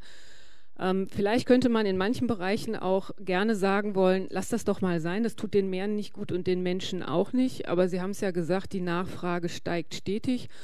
Und wir in Deutschland haben vielleicht den Luxus zu sagen, äh, wir brauchen das nicht, wir haben eh einen Eiweißüberschuss, tut uns gar nicht gut gesundheitlich, so viel zu essen, weder Fisch noch Fleisch, weniger ist da mehr. Aber in anderen Ländern geht es halt wirklich um Ernährungssicherung. Und beim, bei der Aquakultur ist es so, da gibt es den Aqua, Aquaculture Stewardship Council, den ASC, keine Abkürzung. Und der hat sich immerhin zum Ziel gesetzt, mal ähm, verantwortungsvolle Aquakultur zu zertifizieren. Also schon im Ansatz unter dem. Und da geht es darum, Best Practice zu haben. Und da geht es ganz gezielt darum, sich die ganz großen, ganz miesen rauszupicken und die auf ein Level zu bringen, auf dem sie verantwortungsvoll agieren. Das ist ein sehr hehres Ziel und ein sehr langer Weg.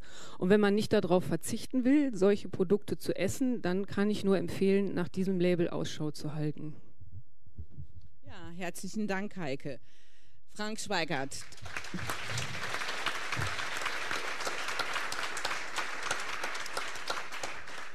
Bevor wir auch noch mal zu diesen ganzen Governance-Fragen äh, kommen, ähm, natürlich an dich vor allem auch die Frage nochmal, äh, weil du ja nicht nur ähm, die Meeresstiftung gegründet hast, sondern auch den Bundesverband Meeresmüll.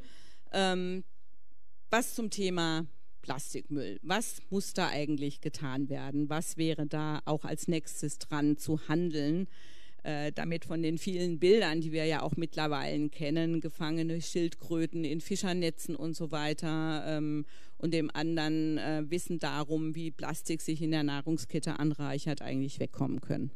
Also ich, ich glaube, das ist die schwierigste Frage, aber ich versuche sie zu beantworten. Ähm, Plastik oder Martin Fisbeck hat es schon angedeutet, äh, Plastik ist nicht das größte Problem im Ozean. Also es gibt viele Probleme, die wirklich wesentlich größer sind, aber es ist ein äh, sehr schönes Beispiel, das uns vor Augen führt, dass unser falscher Umgang mit diesem wertvollen Material Plastik einfach so nicht weitergehen kann. Und ähm, wenn wir immer darauf setzen, dass alles möglichst schnell und alles immer größer und immer profitabler sein muss, dann brauchen wir natürlich Verpackung, um unsere Nahrungsmittel quer über den äh, Globus zu schieben. Ähm, mit dem Nachteil, dass dann beispielsweise die Plastikplanen, mit denen die Tomaten in Südspanien hochgezogen werden, dann im Magen von irgendwelchen Walen landen. Wir brauchen da ein vollkommen anderes Umdenken. Ich war in Berlin bei der Vorpräsentation vor einigen Monaten der Fraunhofer, einer Fraunhofer-Studie, ähm, die mal über gescannt hat, wo denn überall dieses Plastikmüllproblem entsteht oder die, vor allem auch dieses Mikroplastik. Und dann kam raus, da, näher ran, ja. Dann kam raus, dass ein ganz großer Prozentsatz dieses Mikroplastiks von den Straßen kommt, nämlich vom Transport, vom Abrieb der Reifen. So, und dann haben wir uns da hingesetzt und haben überlegt, wie kann man das nun reduzieren? Das bedeutet, dass wir komplett in ganz vielen Bereichen umdenken müssen. Es kann einfach nicht angehen, dass wir die Tomate von Südfrankreich hierher fahren oder dass wir irgendwelche Milchprodukte nach Italien fahren oder dass wir happy damit sind, wenn, wenn wir italienisches Tafelwasser trinken. Das sind alles Dinge, die letztendlich dazu führen. Und ich sage immer, die, die wichtigste Maßnahme sind die, die, die regionalen Kreisläufe stärken, die Tomate eben nicht verpackt irgendwo im Supermarkt kaufen, sondern beim Bauer meines Vertrauens. Und ich glaube, es gibt viele Strukturen auch hier in Berlin, äh, viele, viele äh, Start-ups auch hier in Berlin, die diese Sachen befördern und Urban Gardening und so weiter. Und äh, also das nur um ein Beispiel zu nennen. Ja, vielleicht ein weiteres Beispiel. Also wie gesagt, Mikroplastik in Kosmetik, darauf könnte man auch verzichten. Äh, was ist dir denn bekannt, na, wie man jetzt versuchen kann, politisch äh, eben auch mit dem Verbot von Mikroplastik in unterschiedlichsten Produkten, wo man es gar nicht braucht, ähm, umzugehen? Was wäre da, was sind da so Schritte, die angedacht sind? Da arbeitet ihr ja auch dran. Da arbeiten wir dran, mir geht es alles viel zu langsam. Also wenn, wenn es möglich ist, ähm, Mikroplastik in, in Kosmetikprodukten von heute auf morgen zu ersetzen, dann muss das auch passieren. Und dann reicht es nicht, wenn die Unternehmen mit Selbsterklärungsverpflichtungen arbeiten und die Politik das akzeptiert, sondern dann muss die Teile der Politik, ja, richtig. Ähm, sondern da muss man wirklich sofort handeln. Und äh, beim Bundesverband haben wir neulich ein Meeting gehabt, äh, da haben wir ähm, da ist die Plastiklobby auch mit am Tisch, weil wir geda gedacht haben und ich da auch der Überzeugung bin, dass wir das Problem nur mit, auch mit den Verursachen lösen können. Und dann haben wir sie konfrontiert mit einem Strafrechtler und der Strafrechtler hier aus Berlin, Professor Jäger, hat gesagt, na gut, also wenn ich weiß, dass wenn ich eine Zahnpasta herstelle, in der beispielsweise Mikroplastik drin ist und wenn ich weiß, dass die dieses Mikroplastik durch die Kläranlage zumindest in großen Mengen durchgeht und dann im Meer landet, dann weiß ich ja auch, dass ich mit der Herstellung dieser Zahnpasta letztendlich die Meere verunreinige. Also ist das ein Strafrechtbestand. Und ich glaube, wir müssen jetzt dazu kommen, dass wir relativ schnell auch politisch ähm, das in entsprechende Maßnahmen umsetzen und dass es einfach von heute auf morgen verboten wird. Damals, als die Rauchgasentschwefelung ähm, in der Diskussion war, da hat die Industrie gesagt, das geht nie und nimmer. Und dann hat man ein Gesetz gemacht und es ging von heute auf morgen. Es gibt viele Dinge es gibt viele Dinge, die von heute auf morgen gehen. Die Technologie ist da. Wir leben in einem Land von Tüftlern und Erfindern, die technologisch wirklich Höchstleistungen bringen können. Und ich finde es unter anderem äh, hat direkt auch ganz viel mit den Meeren zu tun. Eine große Schande,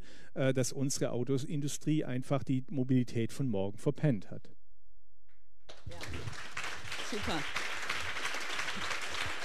wäre jetzt noch mal, dazu machen wir auch ganz viele Veranstaltungen, auch in ein paar Tagen eine zum Dieselgate. Ne? Ähm, ähm, so viel dazu. Ähm, ich würde gerne vielleicht auch, damit sich auch ein Gespräch zwischen Steffi Lemke und äh, Frank Schweigert ergibt, ähm, gerne den Dialog eröffnen dazu, warum kommt denn kein Verbot von Mikro?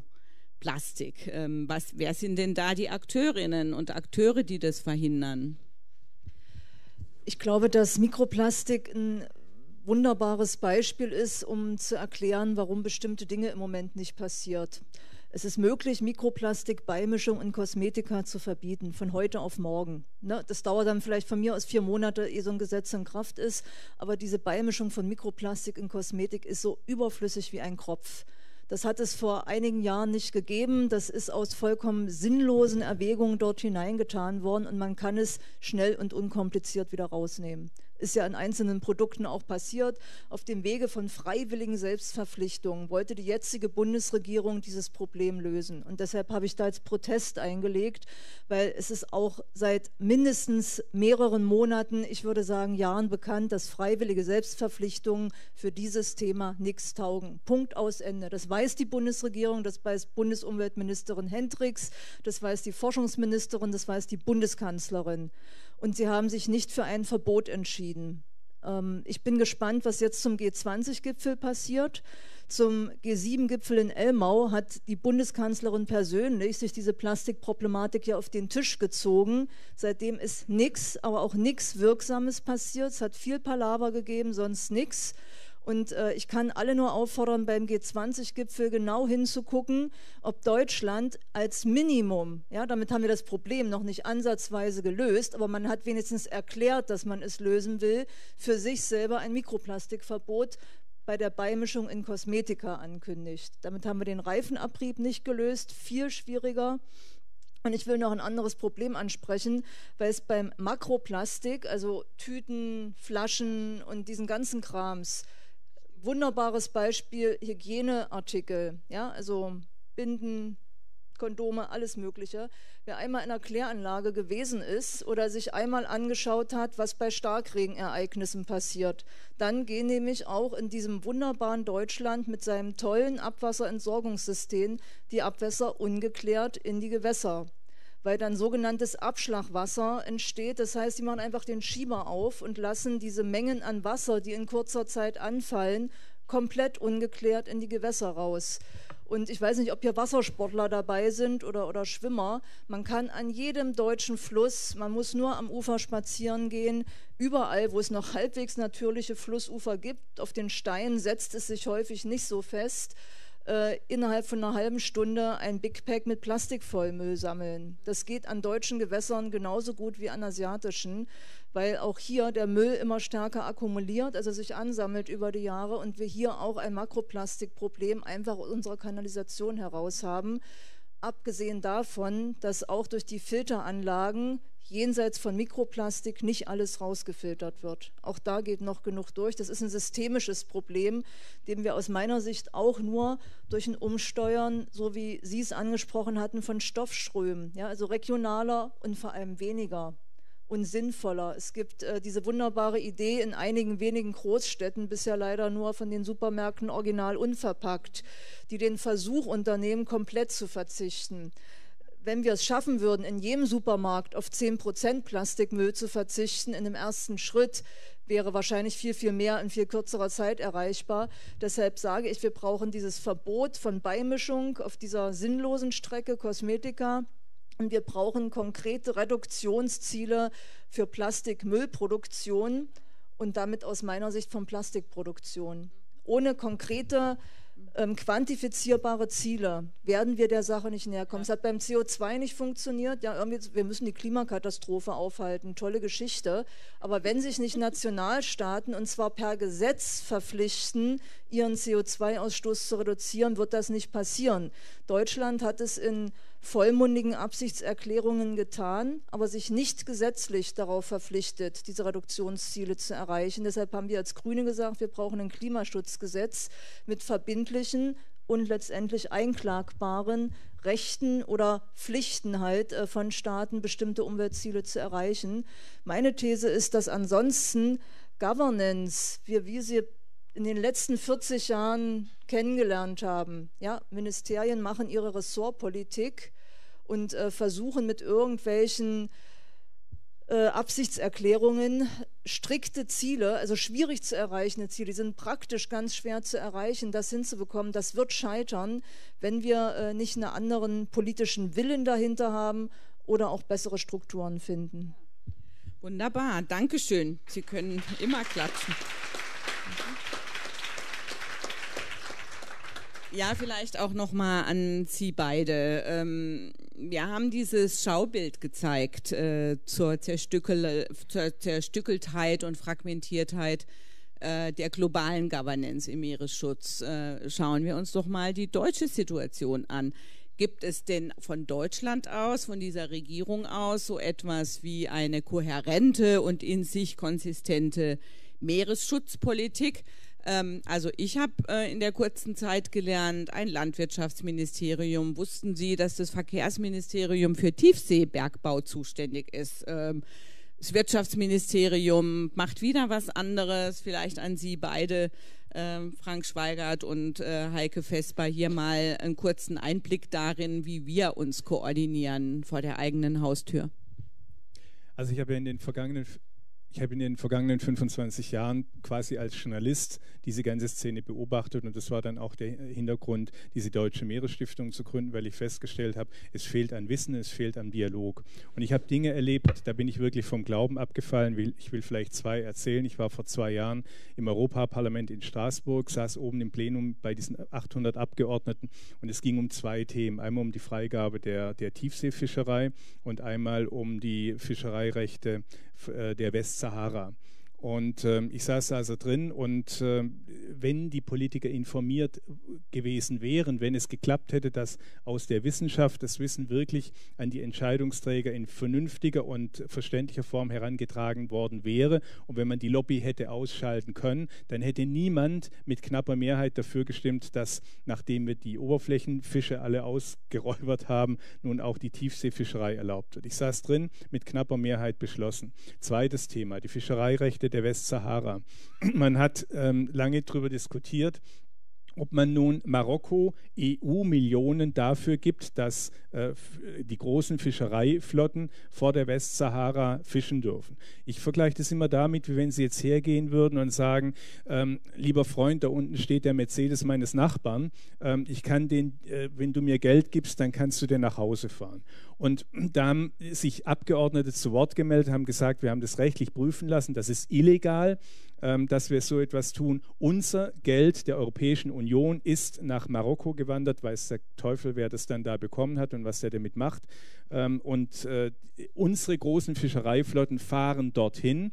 Und ich habe mich mit der Deutschen Gesellschaft für, äh, zur Rettung Schiffbrüchiger später unterhalten. Die haben gesagt, jawohl, wir haben dort ein Riesenproblem, weil nämlich diese großen Fischerei, äh, Fischereischiffe die äh, lokalen Fischer platt fahren, die fahren sie einfach über und wir müssen dann dahin fahren und müssen gucken, wie, wie wir mit dem deutschen Seenotrettungswesen dort helfen können. Und dann gehen wir her und wundern uns, äh, warum die Leute bei uns vor der Tür stehen und, und, und um Asyl nachsuchen. Ich finde, um dieses Thema zu Ende zu bringen, vielen Dank. Wir brauchen einen gerechten Preis. Es kann nicht sein, egal mit welchem Label äh, wir den Fisch im Laden kaufen. Ich bin glücklich, dass wir unter unseren Förderungen der, der Deutschen Meeresstiftung einen Fischunternehmer haben, der es in den vergangenen Jahren geschafft hat, den Fischpreis zu verdoppeln. Mit einer Fischmanufaktur, nämlich den Fisch, ein wertvolles Gut, nicht durch irgendeine Maschine zu schieben, sondern von Menschenhand wieder aufzubereiten, dass es so lecker und wertvoll ist, dass wir es alle genießen können. Also lieber viel, viel weniger weniger essen und dafür viel besser. Also es gibt da viele Beispiele. Ein drittes, einen dritten Punkt, den ich anmerken möchte im Zusammenhang mit der Politik und ich finde, es mangelt ganz krass am Dialog ähm, im Zusammenhang mit dem Klimawandel, auch so ein Querschnittsthema, ähnlich wie die Meere, ähm, haben die Politiker jahrelang äh, über dieses Zwei-Grad-Ziel gesprochen. Es hat sich keiner darüber aufgeregt, dass wissentlich ab einer Temperaturerhöhung von ca. 1,5 bis 1,6 Grad alle Warmwasserkorallenriffe dieser Welt zugrunde gehen. Man hat es einfach akzeptiert, politisch akzeptiert und niemand hat, äh, niemand hat Alarm geschrien. Und das sind einfach Dinge, äh, wo ich denke, wir brauchen eine höhere Transparenz und deswegen bin ich glücklich und froh, dass es diese Ozeankonferenz gegeben hat. Es ist ein deutliches Zeichen, dass die Weltgemeinschaft begriffen hat, dass wir in Zukunft diese Ozeane brauchen und zwar zum Überleben von uns Menschen. Die Meere kommen schon irgendwie zurecht, aber wir haben das Problem. Ja, herzlichen Dank. Nochmal vielleicht zur deutschen Situation, wie werden hier eigentlich Entscheidungen vorbereitet, koordiniert, abgestimmt, wer gegen wen oder mit wem? Ich ringe noch mit dem richtigen Bild dafür, ob ich es zersplittert oder mosaikhaft nennen soll. Also zersplittertes Mosaik passt vielleicht am besten. Also wir haben überhaupt gar keine Koordination zum Thema Meere unter den entsprechenden Behörden, die dafür zuständig sind, Entscheidungen zu treffen. Es gibt zwar gemeinschaftliche internationale Ziele, aber die Umsetzung erfolgt halt jeder, wie er gerne möchte und dann auch entsprechend seiner Klientel. Wir haben nicht mal im Umweltministerium eine einzige Abteilung, die dafür zuständig ist, sondern zwei konkurrierende, die nicht unbedingt miteinander gute Gespräche führen. Wir ringen seit Jahren darum als Verbände, dass wir gerne einen runden Tisch hätten, einen Oceans Table, an dem sich alle Beteiligten in regelmäßigen Abständen zusammenfinden, um dann mal zu gucken, was sind die Ziele und was für Entscheidungen muss man politisch treffen, damit man auch dahin kommt und damit sozusagen eben nicht das Verkehrsministerium, dem Forschungsministerium, dem äh, Entwicklungshilfeministerium sozusagen immer gegenseitig, was der eine mit den Händen aufbaut, das reißt der andere dann wieder ein. So, ähm, dass wir aus dieser Situation herauskommen. Und das äh, hoffe ich, dass diese SDGs, also die Sustainable Development Goals, wo es in, äh, in New York darum ging, zum Thema Oceans, dass das ein guter Anlass ist, um diese sogenannte Kohärenz, also die gute Zusammenarbeit unter den Ministerien zu befördern.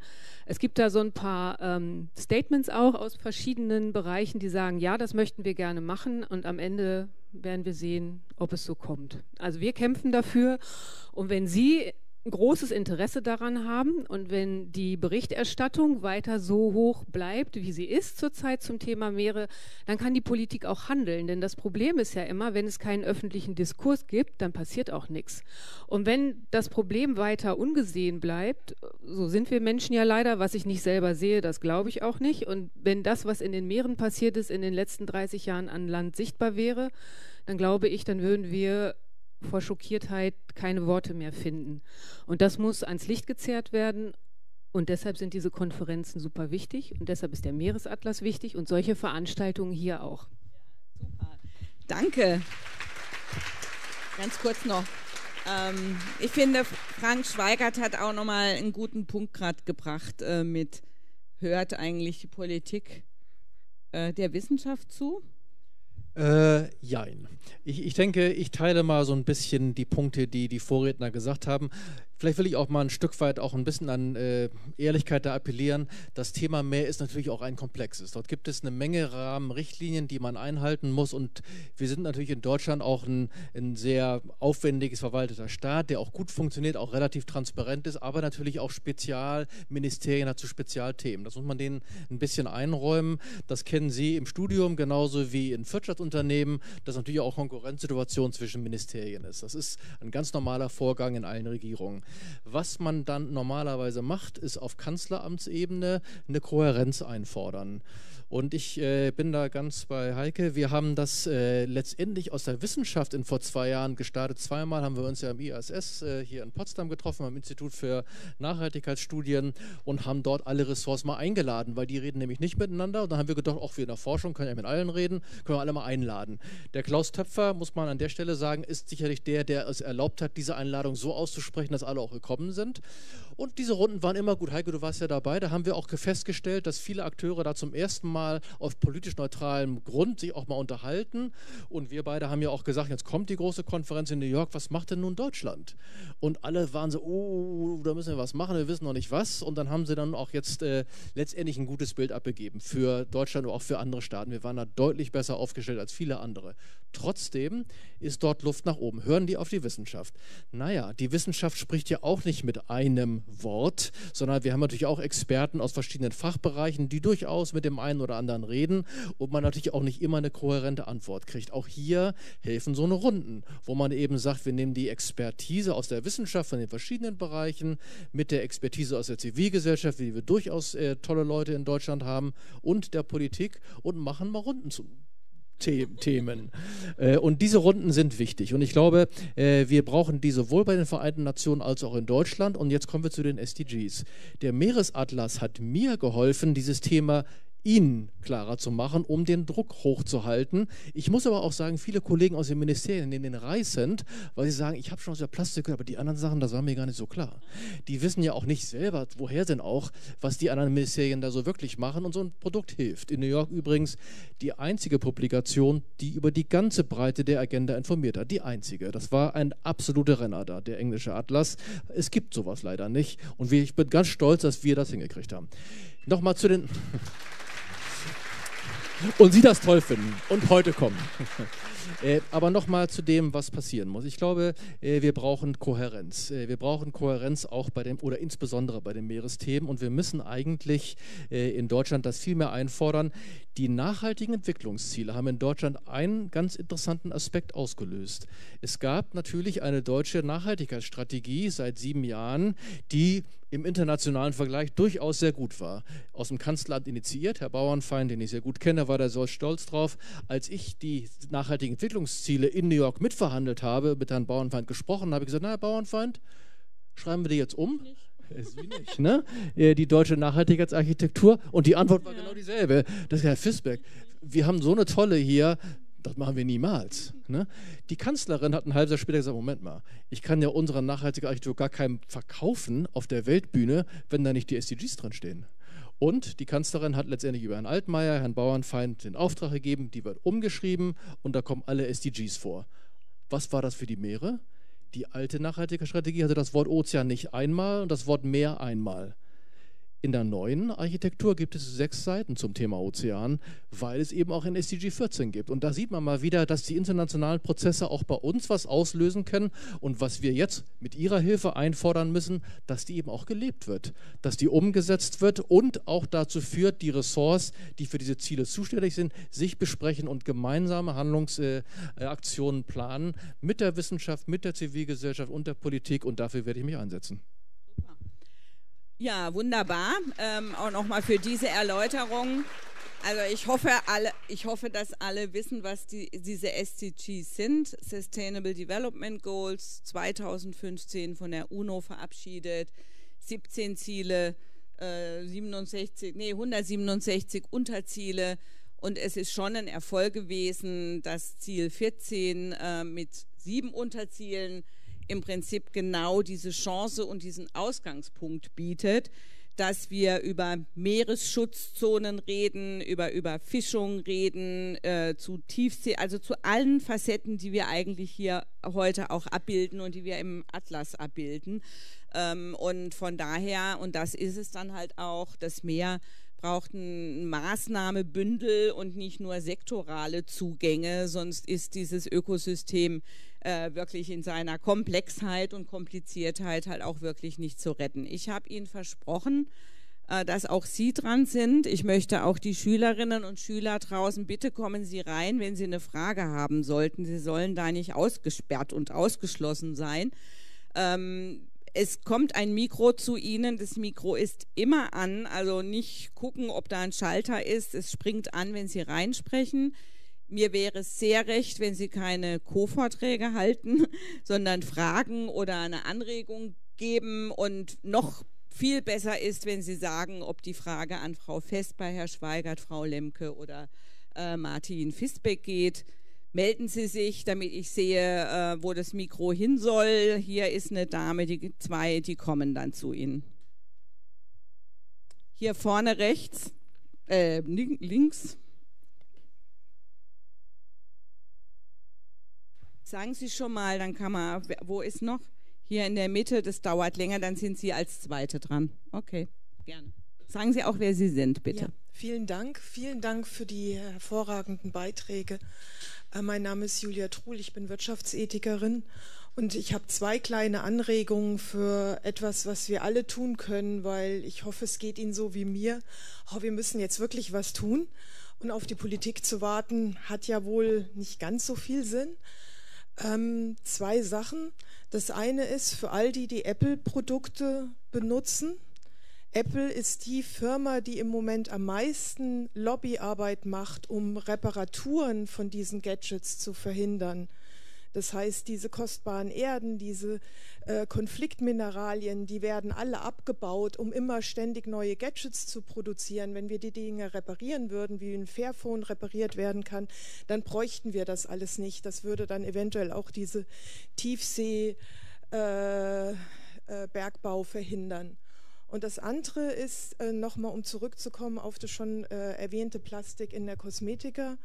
Ich hatte neulich die Gelegenheit, mit Bayersdorf zu reden, mit dem Vorstand und der Nachhaltigkeitsabteilung dort.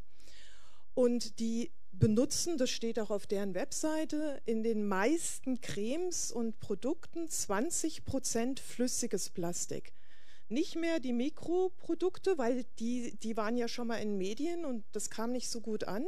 Sie haben sich jetzt auf flüssiges Plastik äh, verlegt. Die haben, obwohl wir das Vorsorgeprinzip äh, ähm, hier haben, keine Untersuchung ähm, vorher gemacht, ob das dem Wasser schadet oder den Menschen. Sie machen es trotzdem und mir wurde gesagt, dass sie das so lange tun, bis sich die Verbraucher darüber beschweren.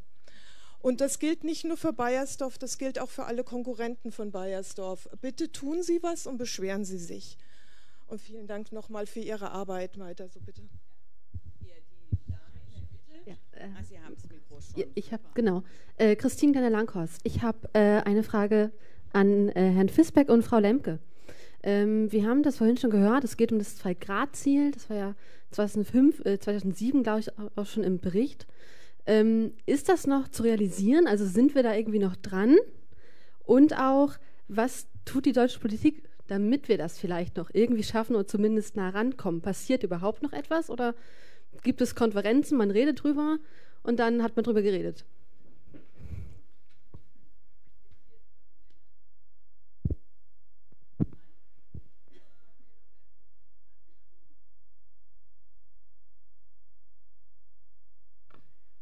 Ja, mein Name ist Frank Wendel. Ich fahre ja öfter an die Nordsee und, und da muss ich feststellen, dass die Nordsee furchtbar dreckig ist. Das kommt auch von den Schifffahrtslinien, die da vorbeifahren, äh, der, gegenüber von Spiekeroog.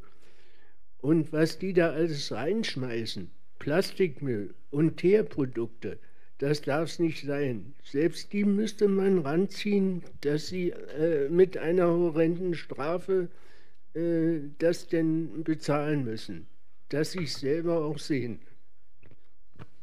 Ja, herzlichen Dank. Ich würde noch eine Frage nehmen, aber es ist gar nicht so viel. Okay, dann gehen wir aufs Podium zurück und ähm, fangen vielleicht noch mal mit dem Thema an wie können wir Rohstoffe vermeiden, recyceln, wiederverwerten, reparieren. Ähm, das gilt ja insgesamt nicht nur fürs Plastikthema, sondern überhaupt für Ressourcenkonsum, auch für vor allem auch für die Smartphones, für alles, was äh, ähm, mineralische Rohstoffe braucht. Also ähm, wir hatten ja schon festgestellt, ich will es vielleicht noch mal ein bisschen ausführen, dass wir über 16 Zuständigkeiten in den Meeren haben. Und jedes Ministerium sieht die Geschichte mit dem Meeresbergbau wieder unterschiedlich. Also im Prinzip, das Wirtschaftsministerium möchte ihn fördern. Und ich weiß vom gegenüberliegenden Ministerium, nämlich dem Bundesverkehrsministerium, dass es dort einen Referentenentwurf gibt, ähm, der besagt, dass wir erstmal unsere Kreislaufwirtschaft in Ordnung bringen müssen, bevor wir uns um den Meeresbergbau kümmern. Und da gebe ich dem ähm, Referenten recht. Und ich glaube, das ist ein ganz wichtiger Hinweis. Ähm, und ich will jetzt nicht nur auf die Kläranlage ansprechen, sondern wenn Sie mal bei uns in Deutschland irgendwo die Gelegenheit haben, in so eine Müllsortieranlage reinzugehen, was da alles weggeschmissen wird, was am Ende verbrannt wird. Ähm, also wir in Hamburg, ich, da lebe ich, äh, da ist es sogar so, dass äh, aufgrund des Sparvolumens äh, die Menschen weniger Müll produzieren und dann die Müllverbrennungsanlagen nicht mehr ordentlich arbeiten können. Es gibt also Menschen, die damit beauftragt sind, im Ausland Müll zu kaufen, den wir in Hamburg durchs Kamin jagen, damit wir warmes Wasser haben. Das sind Zustände, die sind komplett unhaltbar und ich glaube, daran müssen wir arbeiten. Und ich bin froh, also über die Veranstaltung, auch über den Atlas, dass wir in einer Demokratie leben und dass wir die Möglichkeit haben, Politiker zu wählen, sie zu fragen, für was sie sich einsetzen. Und ich glaube, es gibt ganz, ganz wenige Politiker, die sich mit dem Thema mehr je beschäftigt haben. Und ich möchte ganz, ganz dringend den Appell an, die, an, an das Publikum richten. Tun Sie das, reden Sie mit, mit den Leuten, zwingen Sie Ihre Volksvertreter dazu, sich mit diesem Thema zu beschäftigen, auch wenn es unter der Meeresoberfläche ist.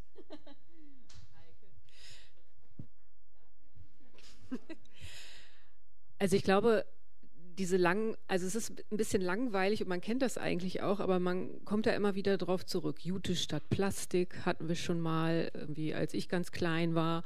Also diese ganzen Sachen von irgendwie äh, die Sachen länger benutzen, wieder zu verwerten und zu recyceln. Das sind so diese drei magischen Wörter und da können wir uns, glaube ich, die können wir uns gar nicht groß genug selbst auf die Fahne schreiben als Verbraucher, wie wir damit umgehen, wie wir Anziehsachen kaufen, wie wir mit Elektrogeräten umgehen, wie wir Plastikverpackungen nutzen. Plastiktüten. Ich finde es immer schön, wenn ich im Laden bin und sehe, jetzt kostet das Ding ein paar Cent, jetzt nimmt es keiner mehr. Finde ich fantastisch, dass das rückläufig ist. Was wir aber nicht sehen, ist, dass durch den Internethandel natürlich viel mehr Verpackung auf den Markt kommt. Und das ist in Deutschland ein riesiger wachsender Zweig, ja, weil das natürlich alles verpackt wird und jeder kennt das. Man bestellt so ein kleines Ding, kriegt so eine Kiste und drumherum ist diese Plopsfolie ja, und zwar massig, damit das bloß keinen Schaden nimmt alles einmal benutzt und dann kommt es in den gelben Sack. Jetzt haben wir das große Glück, dass wir in Deutschland äh, dieses Lizenzsystem haben, was relativ erfolgreich ist weil es hoch subventioniert ist. Und zwar nicht staatlich, sondern die Unternehmen müssen ja dafür zahlen, dass die Verpackungen wieder zurückgenommen werden und entsorgt werden und nicht wir Konsumenten. Und das ist ja genau das Problem in anderen Ländern, in Südostasien nämlich und in den Entwicklungsländern. Da wird das alles munter auf den Markt geworfen. Das sind diese wachsenden ähm, Ökonomien. Ne? Der Verbrauch steigt. Was früher in Bananenblätter gepackt worden ist, wird heute in so eine hübsche Styroporschachtel getan.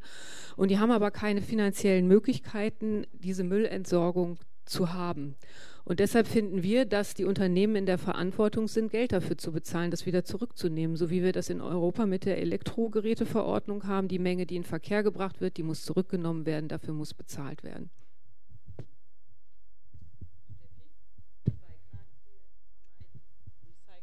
Ja, ist das äh, Zwei-Grad-Ziel noch zu erreichen?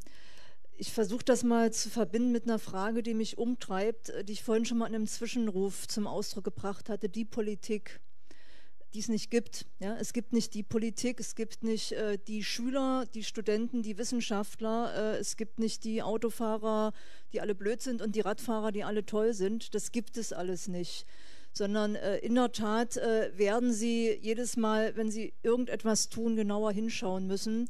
Und es empfiehlt sich, glaube ich, das insbesondere bei Wahlen zu tun. Ähm, die sind halt in der Demokratie nicht komplett irrelevant. Und ich glaube, dass eine der großen Stärken von Frau Merkel ist, dass sie es wirklich geschafft hat, die Politik zu etablieren. Ja, es ist alles irgendwie das Gleiche. Es gibt keine Alternativen und das geht auch jetzt immer so weiter. Und äh, deshalb ist die Frage mit dem Zwei-Grad-Ziel nicht mit Ja oder Nein zu beantworten. Es kommt darauf an, was wir tun. Wenn wir was tun, ist es zu erreichen. Wenn wir so weitermachen, wie auch die deutsche Bundesregierung gegenwärtig tut, wird es definitiv nicht erreichbar sein. Ähm, ich glaube gar nicht, dass äh, bisher immer alle dem Zwei-Grad-Ziel hinterhergerannt sind. Also wir haben zumindest auch über weniger lange, lange Zeit diskutiert, bis es dann halt in Paris als das Ziel äh, vereinbart worden ist. Und das äh, ignoriert in der Tat, dass die Einhaltung des Zwei-Grad-Ziels bedeutet, dass das Gret-Berger-Rief im Eimer ist.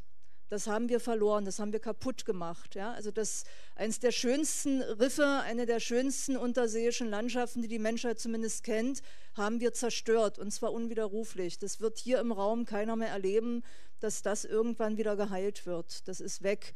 Die Frage ist, ob das für alle zutrifft. Das hat, glaube ich, die Wissenschaft noch nicht abschließend beantwortet oder ob wir die Chance haben, andere Riffe noch zu erhalten, äh, wenn wir was tun. Und äh, was in New York bei der Meeresschutzkonferenz zu hören gewesen ist, ähm, was man hier selten hört, wir haben dafür ein Zeitfenster von maximal, maximal zehn Jahren. In New York ist eher von fünf Jahren gesprochen worden. Und das sind normalerweise Zeiträume, in denen Regierungen, die nicht bereit sind, unpopuläre Maßnahmen zu treffen, nicht handeln. Entweder man hat das Rückgrat äh, zu sagen, Leute, das ist jetzt an einem Scheidepunkt, das ist ein wirklicher Kipppunkt. Wir haben über das Artensterben heute nicht geredet. Ich könnte da jetzt noch eine Abendveranstaltung anhängen, weil äh, in der Wissenschaft das Artensterben als die globale Grenze gilt, die bereits am weitesten überschritten ist. Ja, nur so äh, drei Viertel unserer Vögel haben wir letztendlich verloren. Insektenmasse regional punktuell bis zu 90 Prozent. So will, will das jetzt nicht weiter ausführen. Prioritär durch die Landwirtschaft, äh, durch Landnutzungsänderungen. Aber äh, das meine ich, wenn ich sage, mit einem äh, Scheidepunkt. Und deshalb hat es eine Dringlichkeit, von der ich finde, dass sie das ist das positive Zeichen von New York, dass diese Dringlichkeit dort transparent gemacht worden ist, auf die Agenda gesetzt worden ist. Das Tolle am Meeresatlas ist, dass er der Zivilgesellschaft, aber auch Politikern, die teilweise dieses Wissen in der Tat bisher nicht haben, ein Instrument, ein, ein Bildungsinstrument, ein Diskussionsinstrument an die Hand gibt, um diese ganzen komplexen Sachen äh, deutlich zu machen. Ich glaube, das Wort, das Thema Versauerung haben wir heute noch gar nicht angesprochen weil es schon noch mal ein bisschen komplizierter ist, aber eigentlich mit der Erhitzung zusammen die größte Bedrohung des Ozeans darstellt.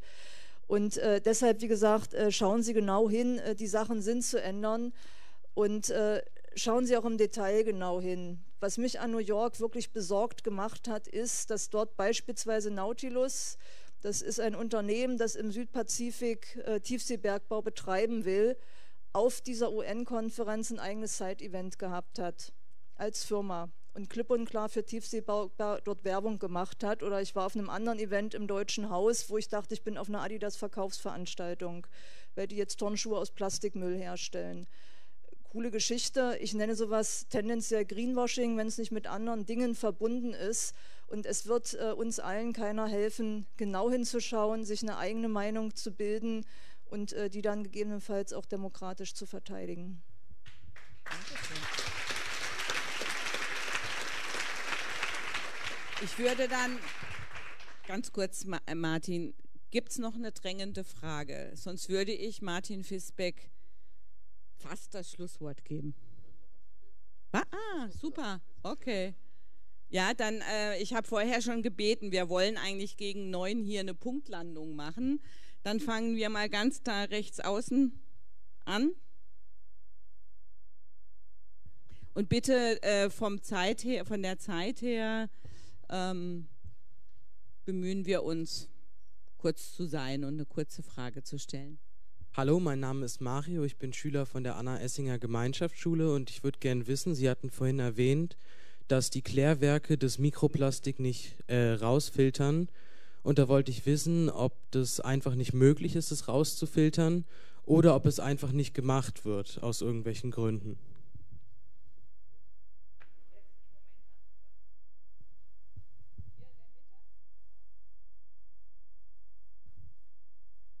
Hallo, Isabel Burian mein Name. Ähm, ich wollte aber fragen, ob wir zu dem Thema Governance nochmal was sagen können, weil die Meere zu steuern ist eben ein kontroverses Thema und da hätte ich doch gerne auch eine Expertenmeinung.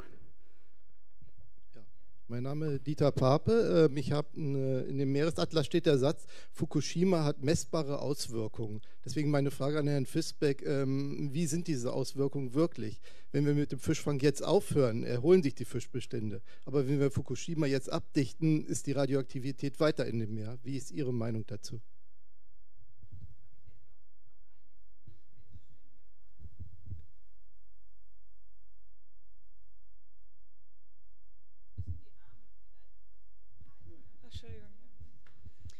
Ähm, mein Name ist Pia. Äh, vielleicht nur eine kleine Sache. Und zwar ich letztens von BP erfahren, dass sie zweierlei Treibstoffe herstellen für die Schifffahrt. Einmal einen sauberen, einmal einen dreckigen für die Hochsee. Das war mir sehr neu und ich denke doch, dass durch die steigenden Handelswege oder halt auch äh, die Globalisierung äh, das doch irgendwie eine Information ist oder auch politischer Maßnahmen bedarf. Und wenn Schiffe schon mit zwei Tanks fahren, finde ich das doch recht komisch. Also, Dankeschön. Äh, mein Name ist Uta Schuchmann. Ich bin Politikwissenschaftlerin und arbeite zur Meeresgovernance und äh, ja, habe das auf lokaler Ebene untersucht, war jetzt auch in New York und diese unsägliche Veranstaltung von, mit Nautilus habe ich auch gesehen. Und äh, ja, ähm, mein, äh, also eine Anmerkung, eine Frage. Ähm, es, Sie haben gesagt, äh, es müsse mehr Governance, also integriert werden und sektoral zusammengeführt werden. Ähm, wir haben aber auch gehört, und das glaube ich ist ein ganz wichtiges Problem, dass äh, Sektoren gar nicht tätig werden. Und zwar nicht nur in Deutschland, sondern auch woanders.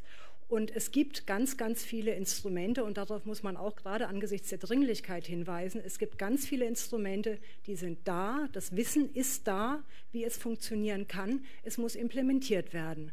Und ähm, die Gefahr bei der Rede, wir müssen äh, Sektoren zusammenführen, so wichtig dieses auch ist, ja, ist aber wieder, wenn wir jetzt eine übergeordnete Behörde schaffen, neuen Verwaltungsapparat, dann absorbiert das wieder Kapazitäten, die ähm, woanders vielleicht ähm, dringender gebraucht werden. Und wie gesagt, Implementierung ist angesagt. Es gibt viele, zum Beispiel Port State Measure Agreement ähm, wäre ein Ding, was einfach mal ratifiziert werden müsste von mehr Staaten. Und dann hätte man schon IOU-Fishing irgendwie besser im Griff. Jetzt gibt es die WTO-Konferenz ähm, im äh, im, im, Dezember. Da könnte man sehr viel zu den Subsidies machen. Die EU ist da aktiv, Deutschland, soweit ich weiß, noch nicht wirklich. Also da ist viel irgendwo, was man machen könnte und was nicht genutzt wird. Und da könnte man schnell auf vielen, also auf vielen Feldern, Sie haben das gesagt, Plastik und so weiter, da gibt es viel Konzepte, das muss nur angewendet werden. So, das ist das eine. Das andere, und das oh, ist meine nee, Frage. bitte Sie. Das ist ganz wichtig, weil das wirklich in äh, New York, aber auch hier in Ihrem wunderbaren Atlas zu kurz kommt. Das die, sind die Rechte der lokalen Gemeinschaften, das sind die Rechte der Frauen, der Jugend, der indigenen Völker. Da war der Nachhaltigkeitsdiskurs vor Jahren schon mal sehr viel weiter. Und in dem Call for Action in New York auf der Konferenz und äh, auch leider in Ihrem sonst äh, sehr schönen Atlas ist davon nicht die Rede. Also dieser Menschenrechtszugang, Recht auf Nahrungssicherheit, Recht auf Mitbestimmung. Also es wird zwar von Stakeholder gesprochen, aber nicht, dass sie ein Recht haben. Und die, äh, diese lokalen Gemeinschaften als Partner für den Ausweg aus der Krise, das ist weder in New York noch sonst wo in diesem Diskurs da. Stattdessen wird der Diskurs eben von anderen äh, jetzt okkupiert und diese Sache von Blue Economy, gut, ja, ich okay. sehe schon, aber leider, wie gesagt, sind diese Diskurse ähm, sehr minder repräsentiert und also ähm, wir ich würde uns, mir äh, wünschen, dass ja, das, also im äh, Atlas definitiv. Ähm, das war auch eine Herausforderung, um die sozialen, auch die geschlechterdifferenzierten äh, Analysen bemüht. Es gibt äh, gerade auch im Fischereibereich ähm, haben wir dazu auch die Fakten und Daten geliefert. Also es ist nicht ganz so geschlechterblind und äh, sozialblind. Äh, Im Gegenteil, wir haben eigentlich schon auch versucht, die Arbeitsverhältnisse, die Arbeitsbedingungen in der Aquakultur, in der Fischerei, ähm, wer ist betroffen, auch von den Veränderungen zu adressieren. Ich mache das jetzt so, dass ich ähm, allen Gästen auf dem Podium nochmal die Gelegenheit gebe, sich die ein oder andere Frage rauszupicken und gerne auch ihr persönliches Schlusswort äh, für diese Veranstaltung. Was wünschen Sie sich, Frau Vesper, wie es weitergeht? Was ist so die dringlichste Thematik, die auf die politische Agenda gehört? Oh je, die Qual der Wahl. Also ich fange mal an mit den Schifffahrtssachen. Das eine ist mit dem Treibstoff. Ähm, das ist eine schwierige Sache, weil es am Ende immer um Geld geht. Ja, der saubere Treibstoff ist sehr teuer und der dreckige Treibstoff ist sehr billig und den benutzt auch sonst keiner außer die Schifffahrt. Und das ist ein Problem, was seit Jahren diskutiert wird. Und immerhin ist man jetzt mal so weit, dass es verschiedene Gebiete gibt, wo man den nicht mehr benutzen darf, weil es ungesund für die Menschen ist, die dort leben. Aber bis das ganz abgeschafft wird, das wird ein sehr langer Weg sein, weil dann ist nämlich die Schifffahrt gar nicht mehr so richtig wirtschaftlich. Also dann ist es nicht mehr so ein günstiges Transportmittel und dann werden wir auf viele Dinge verzichten müssen oder die werden sehr teuer für uns werden. Das ist der Grund, der dahinter steht.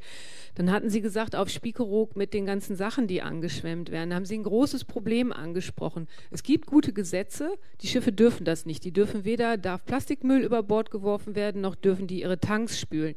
Aber das Meer ist groß und weit und Überwachung ist immer ein Problem. Das ist auch in der Fischerei das große Problem. Es gibt gute Gesetze, die Frage ist, wie sie angewendet werden und dann ist noch die bessere Frage, wie wird es überwacht und wie harsch sind die Strafen.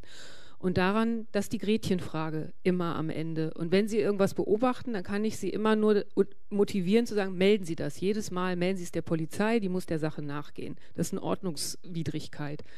Ich finde auch, dass die sozialen Aspekte viel zu kurz gekommen sind, weil gerade in der Fischerei oder aus Ernährungssicht, irgendwie, das ist einer der Sachen, die wir auch sagen, wenn wir das Ozeanproblem, das Meeresproblem nicht lösen, dann werden wir für künftige Generationen ganz große Probleme generieren und vor allen Dingen für die, die davon abhängig sind, aus dem Meer ihre Nahrung zu beziehen. Und das sind nicht wir, auch wenn wir den Fisch so gerne essen. Ich appelliere an Sie und dann appelliere ich an die Politik. das ist gemein, oder? In Sippenhaft genommen zu werden, ist nicht schön. Ich appelliere an Sie, halten Sie durch. Ja? Alles, was Sie hier gehört haben, wenn man dann sagt, irgendwie nehmen Sie doch nicht die Plastiktüte und schmeißen doch nicht Ihre Zigarettenkippen an den Strand und die Kronkorken und dann essen Sie noch den richtigen Fisch und dann vielleicht nicht den aus Aquakultur, sondern den lieber mit dem Label und vielleicht ist das andere Label noch ein bisschen besser. Halten Sie durch. Das ist ein schwieriger Weg und gerade, ich gucke gerade so die ganz Jungen an hier im Publikum, äh, ihr werdet es am allerschwersten haben, ihr da, weil ihr noch so lange da seid und ihr die ganze Suppe auslöffeln müsst, die zwei Generationen vor euch oder drei Generationen vor euch euch eingebrockt haben. Und das ist der Weg und der ist lang und steinig und es ist kompliziert. Es gibt keine einfache Lösung. Auch nicht für das Thema Plastikmüll. Glauben Sie nicht, dass man das so wieder rausholen kann aus dem Meer. Und alle Versuche, die dazu gestartet werden, werden schlecht enden. Das ist meine Prognose dafür. Alles, was an Land gespült wird, ja. Alles, was am Korallenriff hängt, ja. Alles, was die Fischer in den Netzen haben, super. Der einzige Weg ist dafür zu sorgen, dass es nicht mehr reingeht. Und dann muss die Natur leider selbst damit zurechtkommen mit dem, was da ist. Und dann appelliere ich an die Politik auch, halten Sie durch. ja. Wir brauchen mehr. Wir brauchen Ambitionen. Wir brauchen Leute mit Visionen, die den Weg gehen, auch wenn Umweltthemen gerade nicht populär sind in der Politik. Und die, die auch wieder damit kommen und zu sagen, ja, wir haben ein Flüchtlingsproblem, ein globales und ein Teil dieses Flüchtlingsproblems ist, dass die Ressourcen schwinden global und das treibt die Menschen an zu gehen. Und deshalb müssen wir Umweltschutz betreiben. Das ist unsere größte Herausforderung für die nächsten zehn Jahre und wir brauchen sie, dass sie laut sind und sichtbar sind und hörbar sind und gute Entscheidungen treffen, die vielleicht auch unpopulär sind und in ihrem eigenen Wahlkreis vielleicht auch nicht so viel Anerkennung finden. Und ich weiß, dass das schwierig ist, aber so muss es leider sein. Ende der Wunschliste.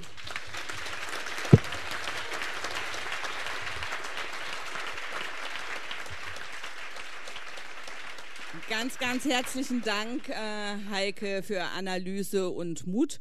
Äh, den müssen wir uns ja alle selber zusprechen. Ähm, Frank, auch an dich äh, vielleicht noch das Thema Mikroplastik. Warum kann man das nicht aus dem Wasser holen? Und Die Kläranlage, ja. Also genau. man, man, kann es aus dem Wasser holen, es kostet aber Geld. Ähm, noch viel schlimmer ist, und da möchte ich das, was Heike Vesper gesagt hat, äh, nochmal unterstreichen. Also es gibt ja jetzt viele interessante Medienartikel, in denen die Rede davon ist, dass man ja mit irgendwelchen großen Maschinen die Ozeane reinigen kann. Junge Mann, der, der überall der in den Also tolle. Initiative, toll toll, dass es Leute gibt, die sowas machen, aber wir können damit das Problem nicht lösen. Also die zwei, drei Prozent, die da auf der Meeresoberfläche herumschwimmen, da, wenn er davon vielleicht 0, so und so viel Prozent abschöpfen kann und dann ist irgendwann das Businessmodell zu Ende, denn wenn wir irgendwann hoffentlich kein Plastik mehr in die Ozeane mehr werfen, dann ist diese Maschine auch überflüssig. Über 90 Prozent ähm, des Plastiks, egal ob Makro- Mikroplastik, landen im Sediment und es wird keinen Staubsauger dieser Welt geben, äh, der diese Meere wieder reinigen kann. Das dazu und ähm, also wie gesagt in der Kläranlage, ähm, man könnte das reinigen. Ich bin gerade dabei, zusammen mit dem Bundeswirtschaftsministerium ein Konsortium aufzubauen mit Unternehmen, die das dann tun werden. Und ähm, auf der anderen Seite ein viel, viel größeres Problem äh, sind die Klärschlämme. Ich will es jetzt nicht weiter ausdehnen, aber das, was dann in der Kläranlage eventuell in einem Filter hängen bleibt, ist nur ein ganz, ganz geringer Teil. Das heißt, der ganz große Teil kommt in die Klärschlamm und über die Klärschlämme dann wieder auf unsere Ecke und damit wären wir beim Bodenatlas, aber ich will jetzt nicht das Thema, das Thema ver, äh, verlassen. Ich möchte gerne ähm, zum Meeresatlas noch eine kleine Bemerkung machen oder vielleicht eine äh, nicht ganz unwichtige. Wenn man rechts unten guckt, gibt es einen Medienpartner, das ist Le Monde Diplomatique. Ich ähm, möchte darauf hinweisen, dass es keinen dass es äh, kein Medienpartner aus Deutschland ist, sondern aus Frankreich, der den Arsch in der Hose hat, äh, solche Publikationen mit herauszugeben. Und ich möchte, weil ich es in den vergangenen Tagen einmal ausgerechnet habe, Ihnen erzählen, dass wenn man die Lizenzgelder nimmt, die beispielsweise an den Fußball gehen, ich habe nichts gegen Fußball um Himmels Willen, die also die ARD, die, die, äh, die Rundfunkbeitragszahler für Fußball bezahlen, wenn man die verwenden würde, um ordentliche Bildung zu machen, nämlich das, was der Auftrag unseres öffentlich-rechtlichen Rundfunksystems wäre, dann könnte man mit diesem Geld mindestens fünf tolle Dokumentationen pro Sendetag produzieren und senden. Und diesen Appell möchte ich noch einmal ganz deutlich loswerden. Und es gibt keine Transparenz Transparenz in diesem System. Es wird nach Gutherrenart äh, dann einfach entschieden, was gesendet was nicht gesendet wird in der aktuellen Diskussion. Und ich möchte appellieren, dass wir hier ähm, unsere Transparenz äh, verstärken müssen und dass wir die insbesondere die öffentlich-rechtlichen darauf hinweisen müssen, dass sie einen Bildungsauftrag haben, dass unsere Meere dort stattzufinden haben. Vielen Dank.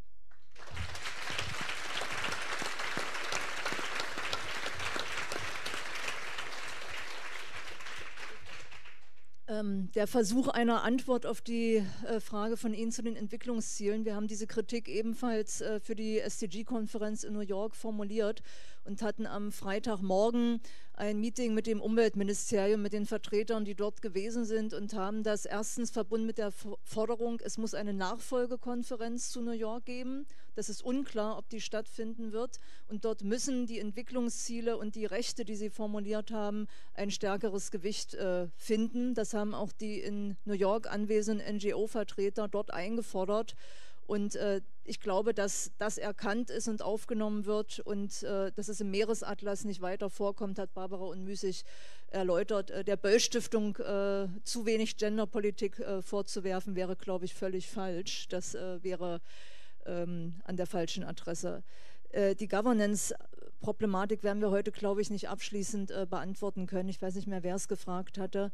Äh, das ist ein verdammt komplexes Thema. Meine erste Antwort darauf ist, wir brauchen weniger Ressortzuständigkeit und wenn es im Moment nicht anders geht, mehr Kanzleramtsentscheidungen für Frage von so übergeordneten gesellschaftlichen Interesse wie Klimaschutz und Meeresschutz. Über andere Probleme kann man sich von mir aus auch lange streiten, aber bei den beiden Thema, bei den beiden Themen geht es schlicht nicht mehr, weil wir nicht mehr die Zeit für Ressortpolitik haben bei beiden. Ansonsten möchte ich mich eigentlich äh, deinem Appell einfach anschließen, Heike. Das war so mutmachend auch für mich. Vielen Dank nochmal. Es ist in der Tat manchmal schwer. Das tat gut eben. Und ich glaube, der Applaus, äh, den du dafür bekommen hast, zeigt auch, dass es ein Wille ist. Und äh, deshalb will ich vielleicht noch äh, zwei praktische Sachen loswerden. Ich habe im letzten Sommer eine Müllsammeltour gemacht auf der Elbe und auf der Saale mit meinem Paddelboot mit einem Fotokünstler von der Mosel zusammen. Äh, Clean River Project äh, findet man auf Twitter und Co., äh, der mich darauf aufmerksam gemacht hat, dass man massenhaft an deutschen Flussufern, an den deutschen Meeresküsten diese Q-Tips findet. Eine genauso sinnlose Sache wie Mikroplastik, wenn man die Dinge aus Pappe herstellen kann Kaufen Sie die bitte in Zukunft nur noch aus Pappe, schmeißen Sie trotzdem nicht ins Klo, es gehört da einfach nicht hin und werben Sie mindestens fünf Verwandte im Verlaufe des Jahres, es ihnen nachzutun. Das sind äh, symbolische Handlungen, äh, die was bringen können. Am 16. September ist der International Clean Up Ocean Day. Wenn Sie in einer Interessensgruppe irgendwo unterwegs sind, machen Sie einen Müllsammelaktionstag. An diesem Tag auch um die internationale Zivilgesellschaft beim Kampf gegen Müll, da hängt ja viel mehr dran, haben wir, glaube ich, heute alle gelernt, äh, zu stärken. Das sind sichtbare Aktionen im Kleinen, wie die SDG-Konferenz in New York im Großen. Und immer schön den Meeresatlas da.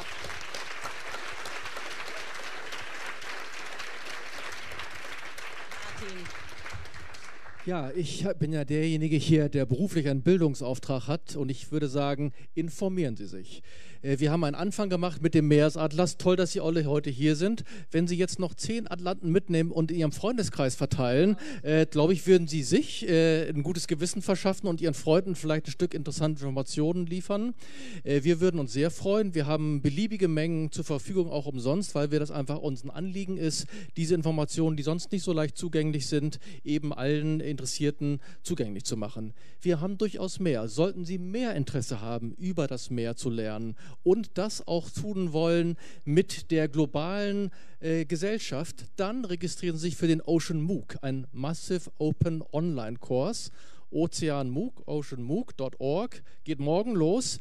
Letztes Jahr hatten wir 4000 Teilnehmer aus aller Welt. Heute Morgen hatten wir schon 800 aus äh, 70 Ländern. Da können Sie diskutieren mit Kollegen aus Brasilien, aus Südafrika, von den kleinen Inselstaaten über diese und ähnliche Themen und nicht nur sich informieren, wie es geht, sondern auch gemeinsam an Lösungen arbeiten. Zum Beispiel in der Governance für mehr Durchsetzung einsetzen. Warum ist das so? Warum ist es so, so schwierig? Sich Mut machen mit dem Zwei-Grad-Ziel. Das ist natürlich eine Mischung aus politischem und wissenschaftlichen Ziel. Und ich bin ganz bei Heike Vespers. Man kann das kriegen, wenn man das will. Man muss es aber wollen. Und die gute Nachricht ist, die Industrie ist zunehmend auf ihrer Seite. Halten, bleiben Sie dran, lassen Sie nicht nach. Äh, dann kann man was bewegen. Und das Meer braucht halt viele Freunde. Wir brauchen Sie alle und Ihre Freunde dazu. Und ich finde, es war ein toller Abend.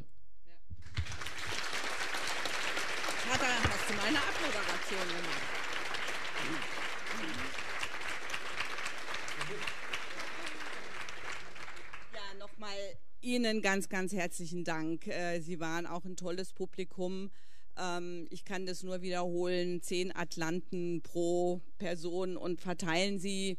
Ähm, das äh, hat Spaß gemacht. Ich möchte mich an dieser Stelle nicht nur bei Ihnen nochmal herzlich bedanken, sondern äh, bei allen, die sich für das Gelingen dieses Abends engagiert haben. Dahinter stecken ja auch erhebliche Menschen. Das sind meine persönliche Referentin Lara Wutke, die ganz viel mit Ihnen auch in der Vorbereitung war und natürlich unser tolles Tagungsbüro und der Mann vom Ton. Danke euch auch und wir wünschen Ihnen jetzt wirklich eine schöne, na, Sommernacht wird es nicht, aber äh, einen schönen Abend und auf jeden Fall weiter Interesse an diesem Thema.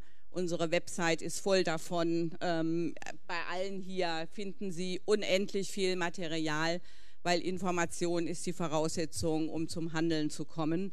Herzlichen Dank und Tschüss.